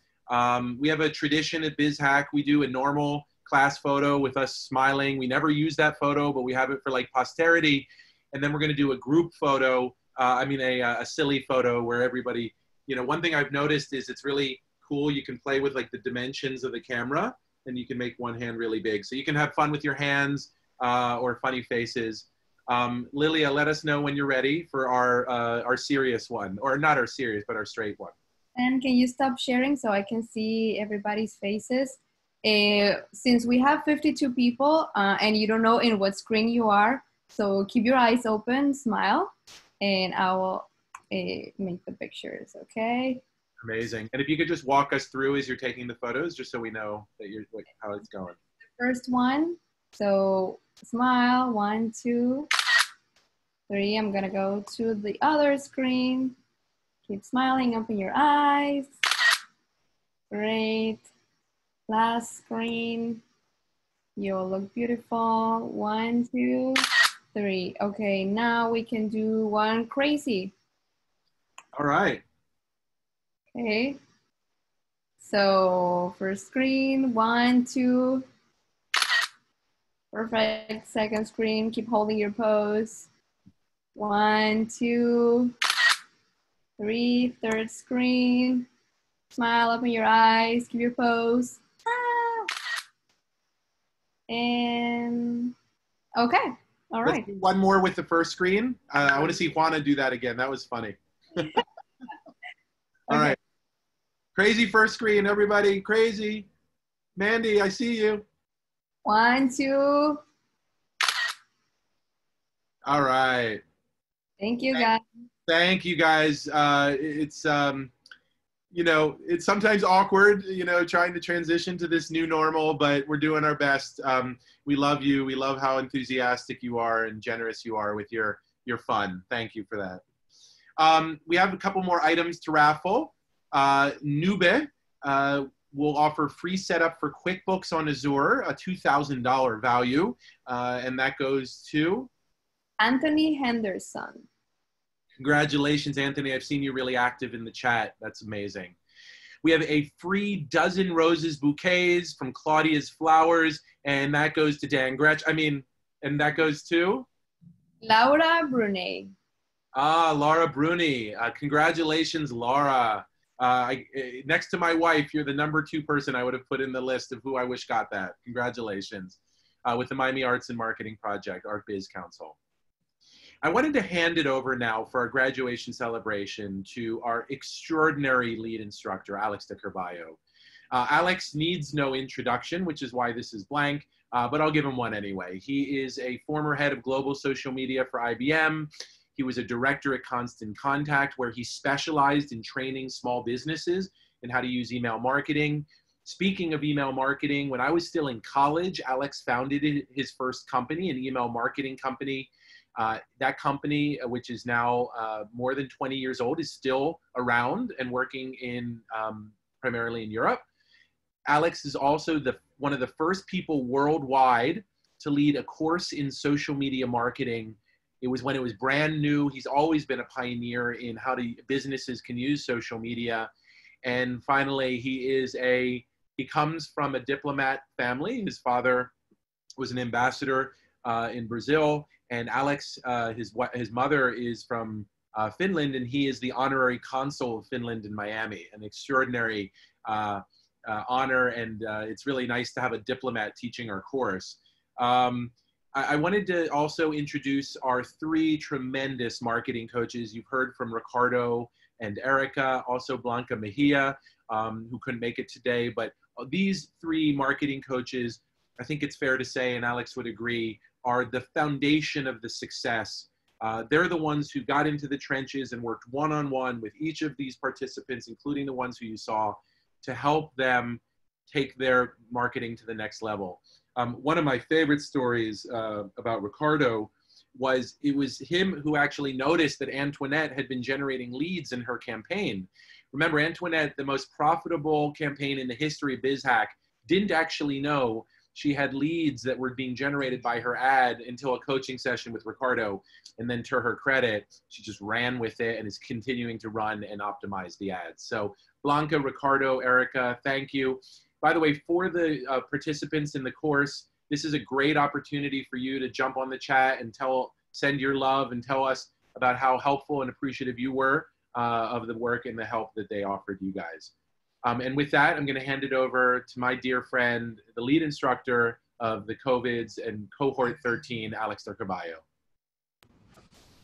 Wow, uh, Dan, thank you for that uh, glowing uh, introduction. Um, you know, I am Brazilian Finn, but if you say I'm finished? I'll tell you I'm just getting started. okay, I need to work on my jokes. Um, I was laughing. You know, I just muted myself. That was good. I like that. Me too, Alex. I mean, the thing, the thing about Zoom is that everyone is, you know, some people are laughing, but it's silent, so I can't tell if you're laughing or not. but I wanted to make some uh, acknowledgments here. I mean, you know, we're living through a historical time. It's a transformational time. Uh, we started this class and COVID was going on, and everybody was uncertain, and we're still uncertain about how this is going to turn out.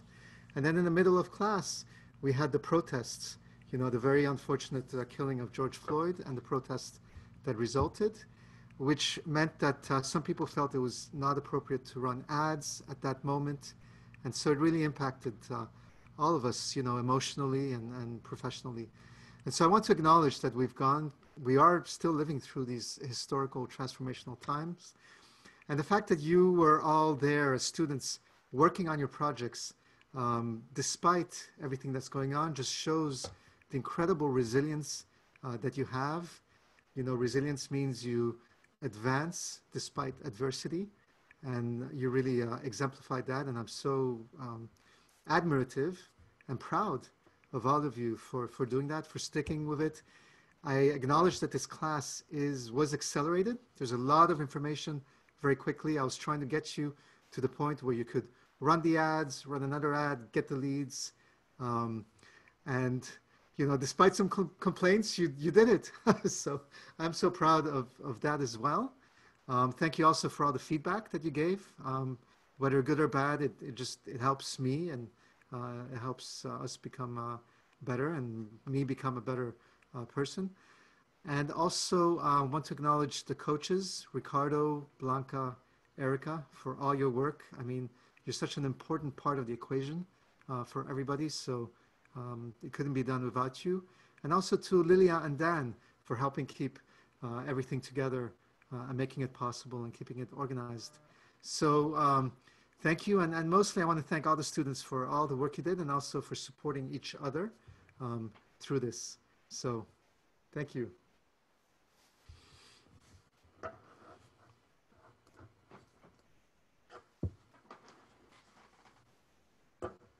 So Alex, if you would just read the names as I uh, run through the certificates. And I'll mention each of you are going to be receiving a physical certificate in the mail uh, in the next couple of weeks, but I uh, wanted to uh, share with you, this would be normally when you'd come up and we'd do grip and grin photos, but uh, we can just, uh, you do social distancing high fives and claps with the emoticons as we go through everyone's name.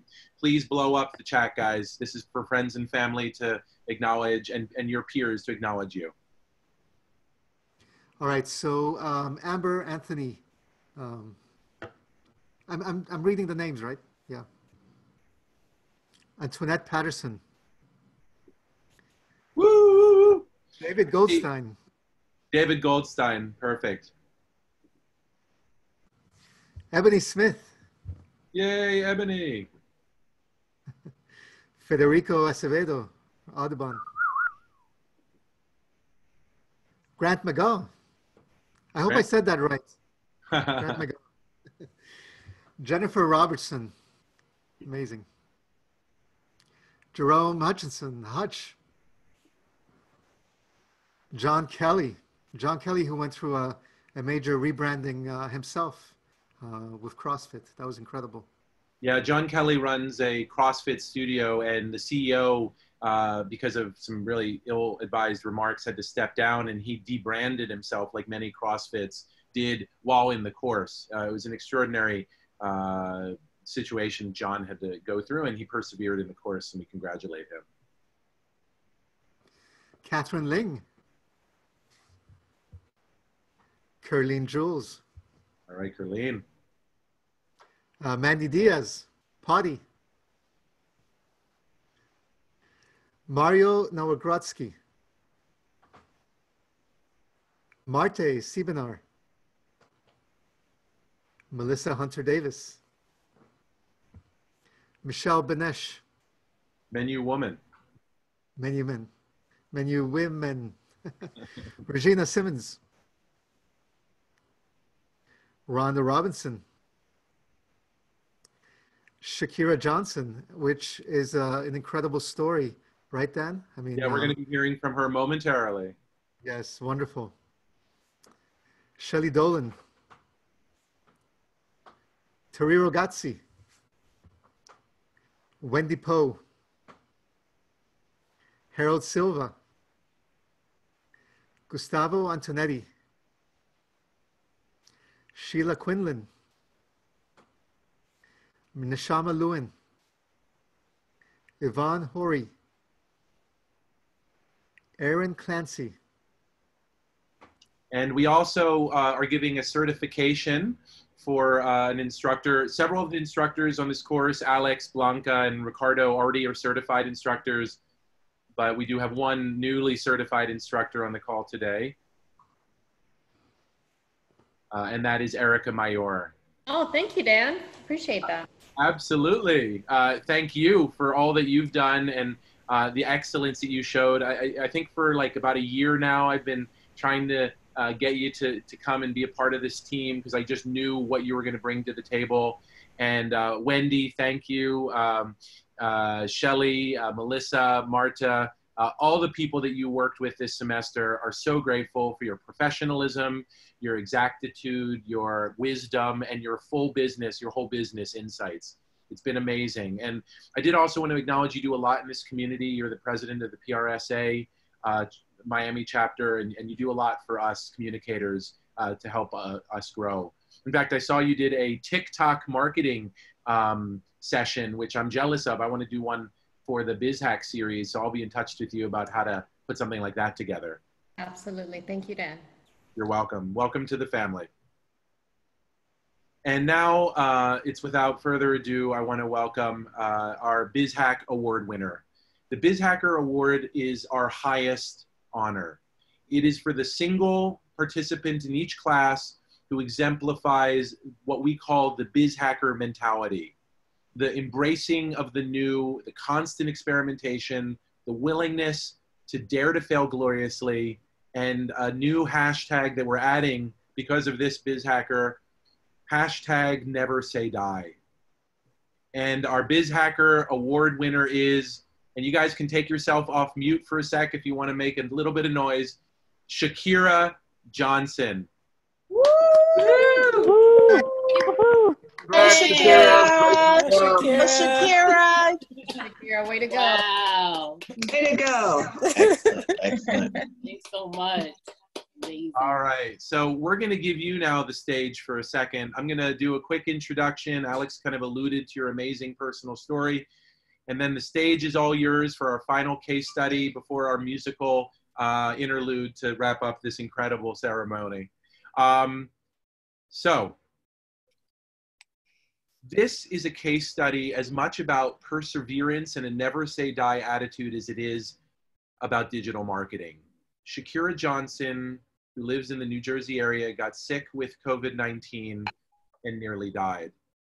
She was so sick, she was uh, recovering while she was at her house, that she spent more than six weeks essentially locked in her bedroom of her small apartment while her three children communicated with her through the door. They used to leave food at the foot of her door so that she could eat.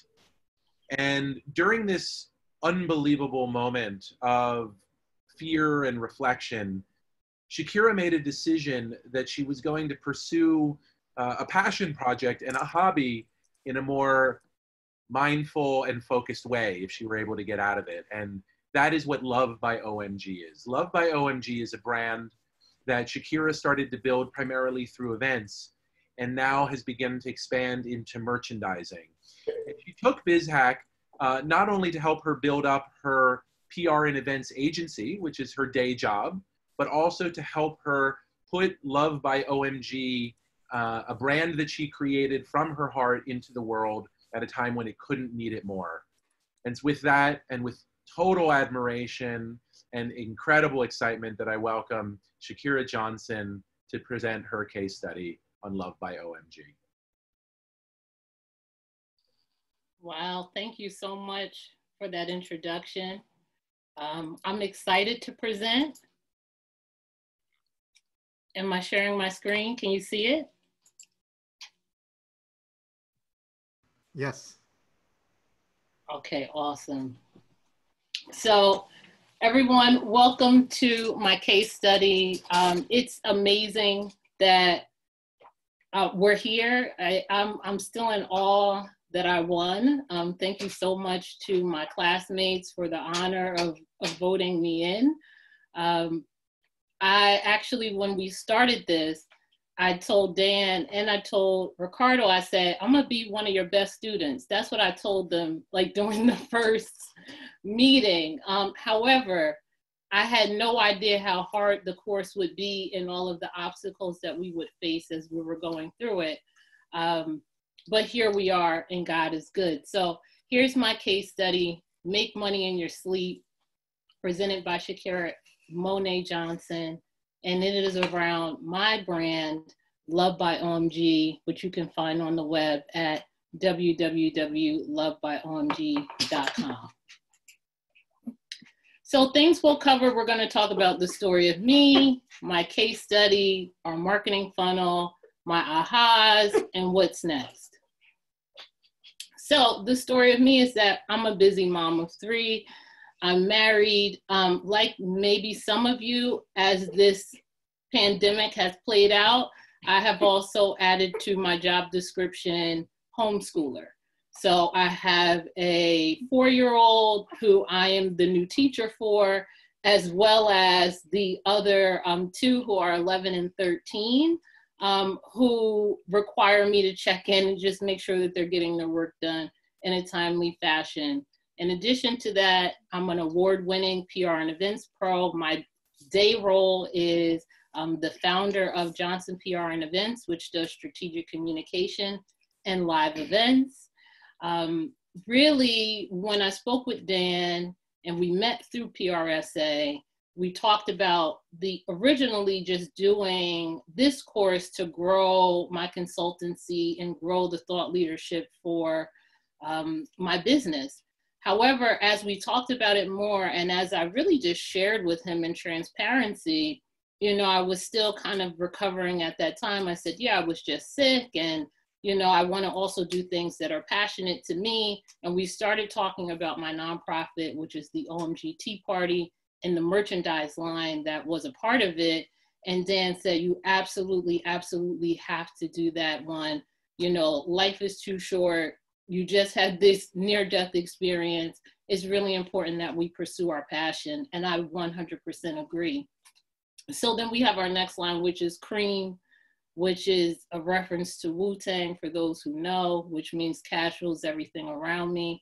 As a part of um, just me growing as a person, is growing the multiple revenue streams that we have. My goal is seven. Um, so this would be one of them.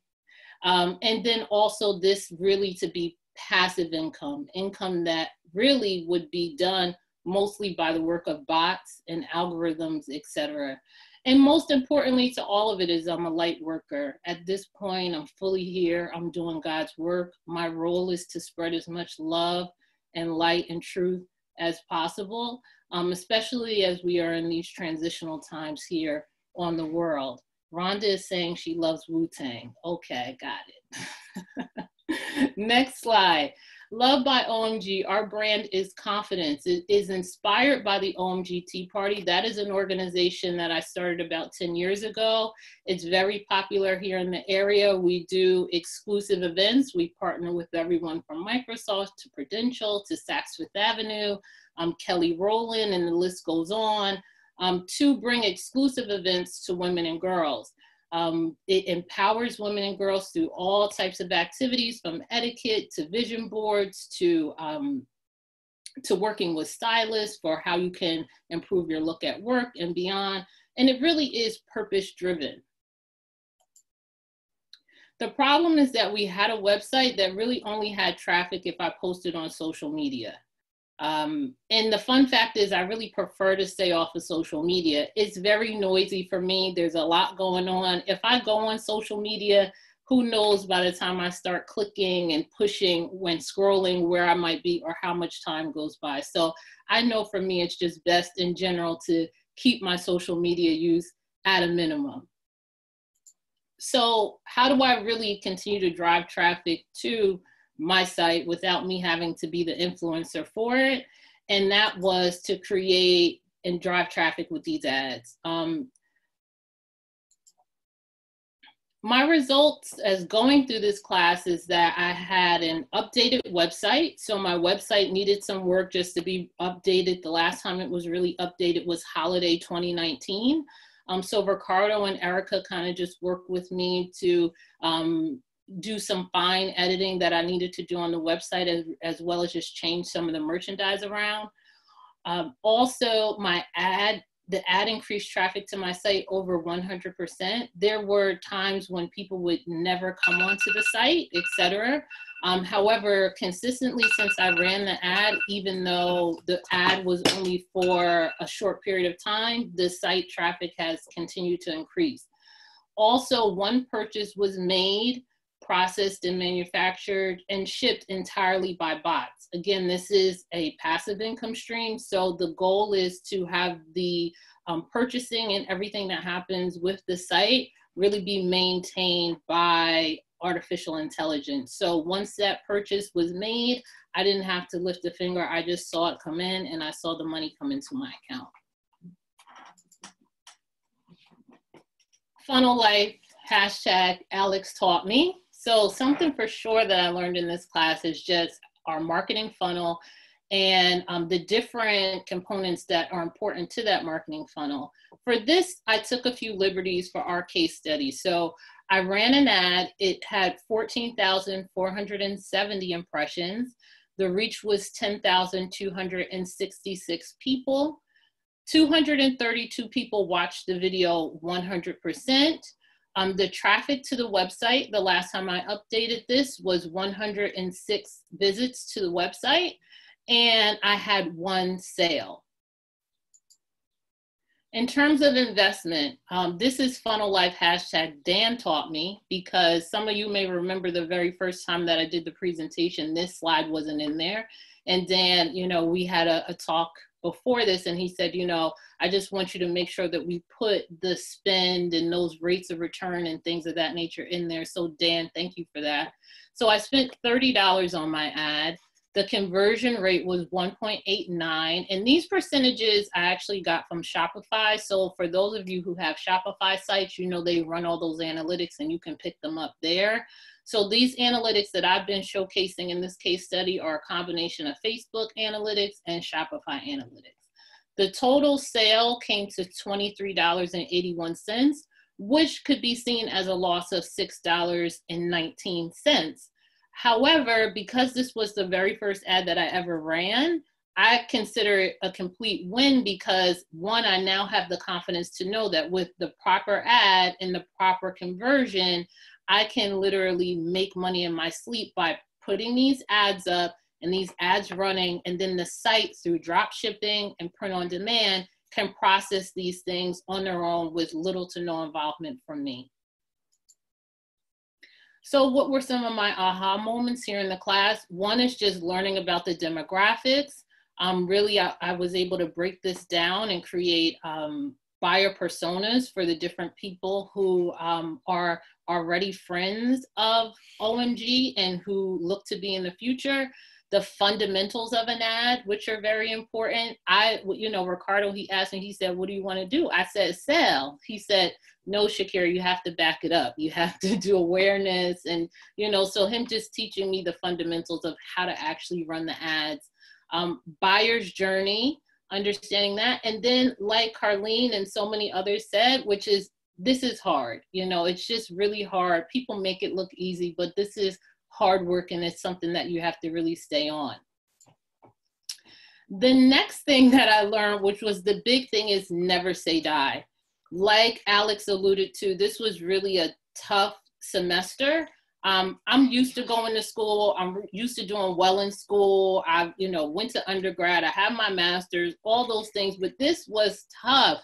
It wasn't just tough due to the actual schoolwork, but it was tough because, again, with the pandemic, COVID, and then also on top of that, the racial and civil unrest that came across um, during the time that we were in the class, not only did we have work to do, but we had to just mentally stay balanced, which was quite difficult at times. There was actually a time right before class started that I, I was kind of like swept into a protest, um, which, you know, jolted me so much. So really it was just the gut, the grit of just stick with it, don't give up. There were a couple of times that um, Alex and Ricardo can tell you, I was like, I don't want to run this ad, it's not good enough. And they were like, just go with it. They just pushed. And that never say die spirit really paid off. And it's not just a lesson for this course, but it's just a lesson in life, literally and figuratively. With me being sick, just saying, no, I'm going to live and then with this course and with the things that i do say no i'm gonna win i'm gonna i'm gonna pursue it even if winning sometimes looks ugly you know i'm going to just get this done. What's next for me? One breathe a sigh of relief. Not only does school end for me this week but also um, also the class ended so i have a bit more time. I did hire a new social media manager we're going to have new merch that launches, as you can see here, with the spread love. And then also we're gonna run more ads and prepare ourselves for holiday 2020. Again, just thank you so much to Dan, Alex, Ricardo, Erica, Lilia, the coaches, and all my amazing classmates. I invite everyone to please connect with me on LinkedIn. You can click quickly go to it if you go to shakiramjohnson.com, or you can just find me by typing my name in. And I also invite everyone to please follow the OMG Tea Party on Facebook and Instagram. Again, thank you so much for the opportunity and thank you to my amazing classmates for this honor. I, um, I'm still processing it and I am just so happy that I took the risk and I bet on myself and invested in personal development and did the big BizHack Club course. It has changed my life. And also, I know that through this course, I have a path to financial wellness that is passive and can run through the presence of artificial intelligence and bots. So, thank you so much, and everyone have a blessed day.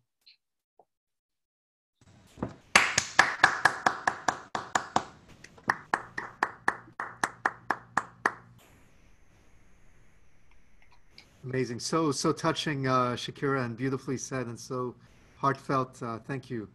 Thank you for being here.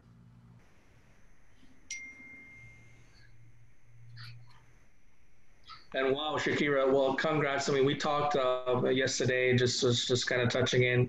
Um, I already told you that you know you're doing you're doing an amazing job. I really was inspired, particularly by you and everything that you you you you essentially went through um, but you fought through and through um, to the end, and and that's what I loved about it. Um, I think you're you're poised for that, uh, um, you know, endless stream of, uh, of, of income.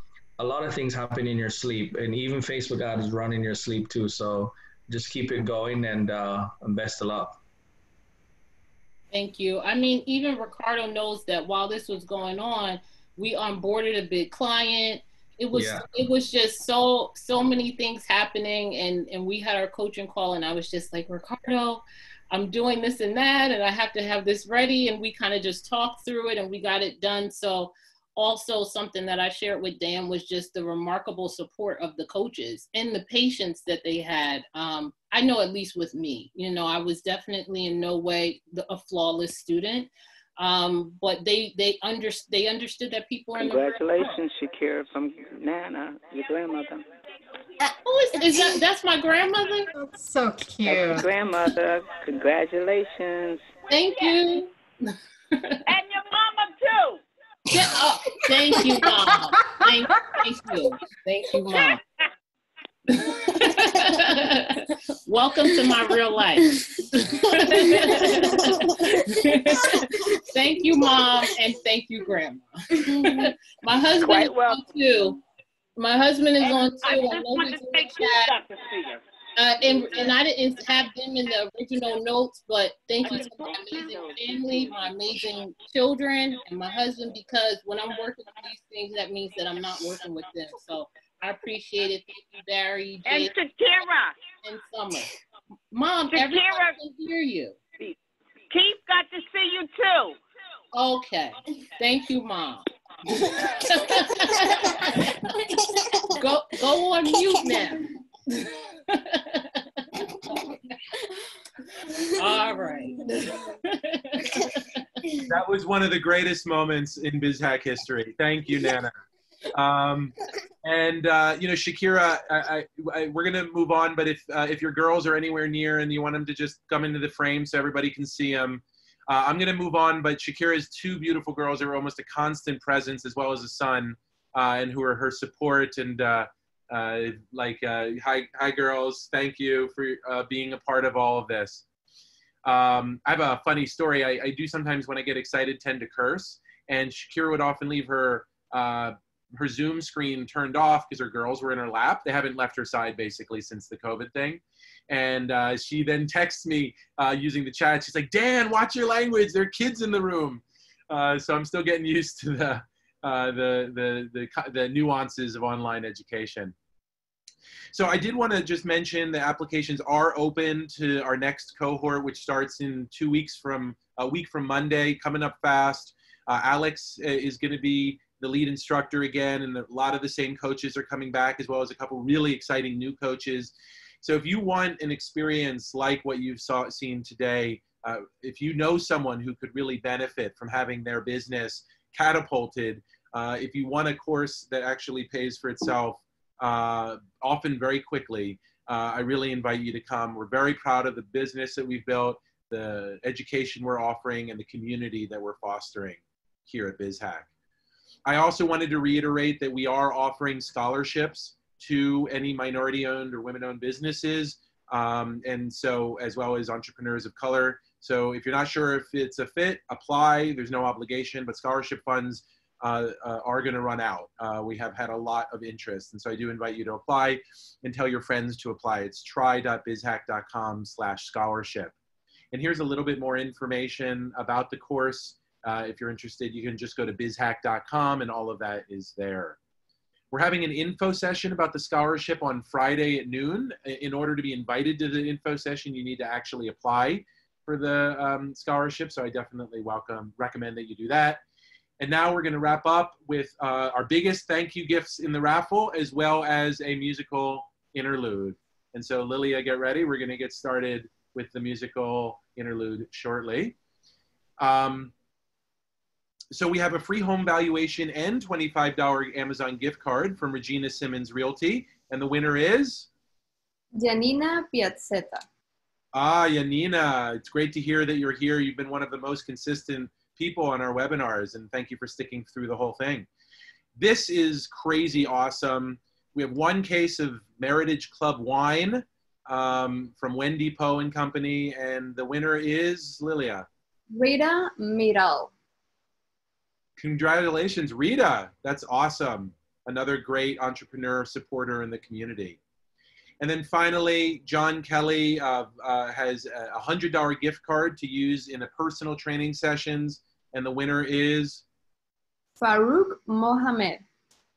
Congratulations, Farouk. It's, uh, that's a great one.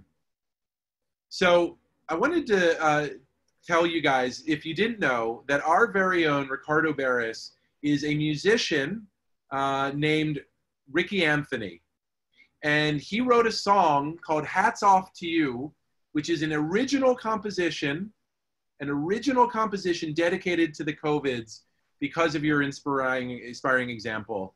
Um, Ricardo, I'm going to give you a, a, a, chance to just introduce us to the song, and then we're going to play it as we close out this amazing 13th graduation celebration. Well, thanks, thanks, Dan. A lot of people didn't didn't doesn't know the other psychic of, of me, which I, I do write, I, I do um, sing, and I've, I've been a vocal coach for some time. This essentially sort of another side of me. Uh, always cool to have multiple sides, um, but in business you usually don't find that. But um, the the song really came on the backdrops of just what I've heard and seen over the last couple of weeks. Particularly, one of the story that really touched me is Shakira's, and and and it's just the way that she just pulled through it, it, has been a huge inspiration to me sort of penning this these lyrics. And i hope that it, it, it, it you know it, it, reaches you the same way it touches me um, and for everyone else um, uh, who is who's looking on. And i think this uh, this this song has life um, and it needed to inspire folks um, across the years and, and and the ages to come. So um, have fun listening. I I actually will share in the in the in the um, in the chat a a link to the to the audio. This is actually a draft. It was still was still sort of completing it out at studio, and it would be published in iTunes um, under Ricky Anthony, um, which which I have several other titles there right now as well. So you can listen to that in your own time, and um, feel free to give me your feedback. Let me know uh, what your thoughts are. All right. Without further ado. Yeah, okay.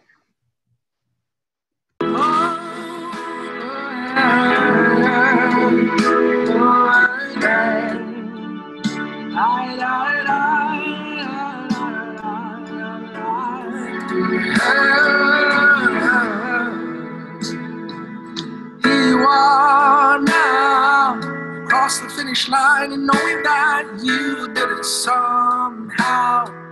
While on the journey, there were many things you didn't know. how it's because of your openness you learn. Look what you've earned. Yeah. And as you go, go, planting those seeds of all the lessons learned to reap what you sow. Now being afraid to tell and share to everyone you know with complete openness to learn. They too can earn. I lift my hats off to you and you and you for doing all the things you needed to do. Instead of giving up, oh, fought through and through. You should be too. Off to you.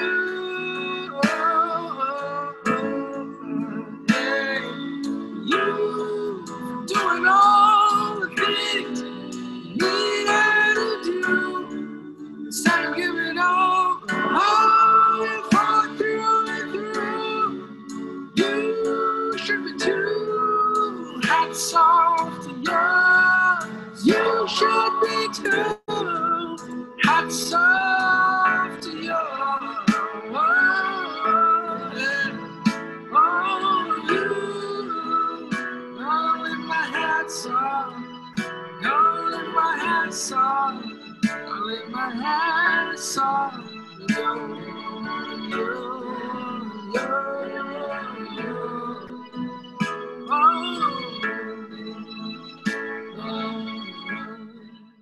And that, I want to close out. You can leave the music going. And a, a thank you, Ricardo. Amazing. There's really nothing else to say.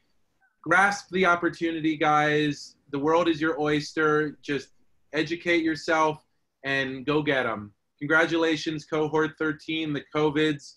And uh, this is just the beautiful beginning of the next chapter for all of you. Thank you, everybody.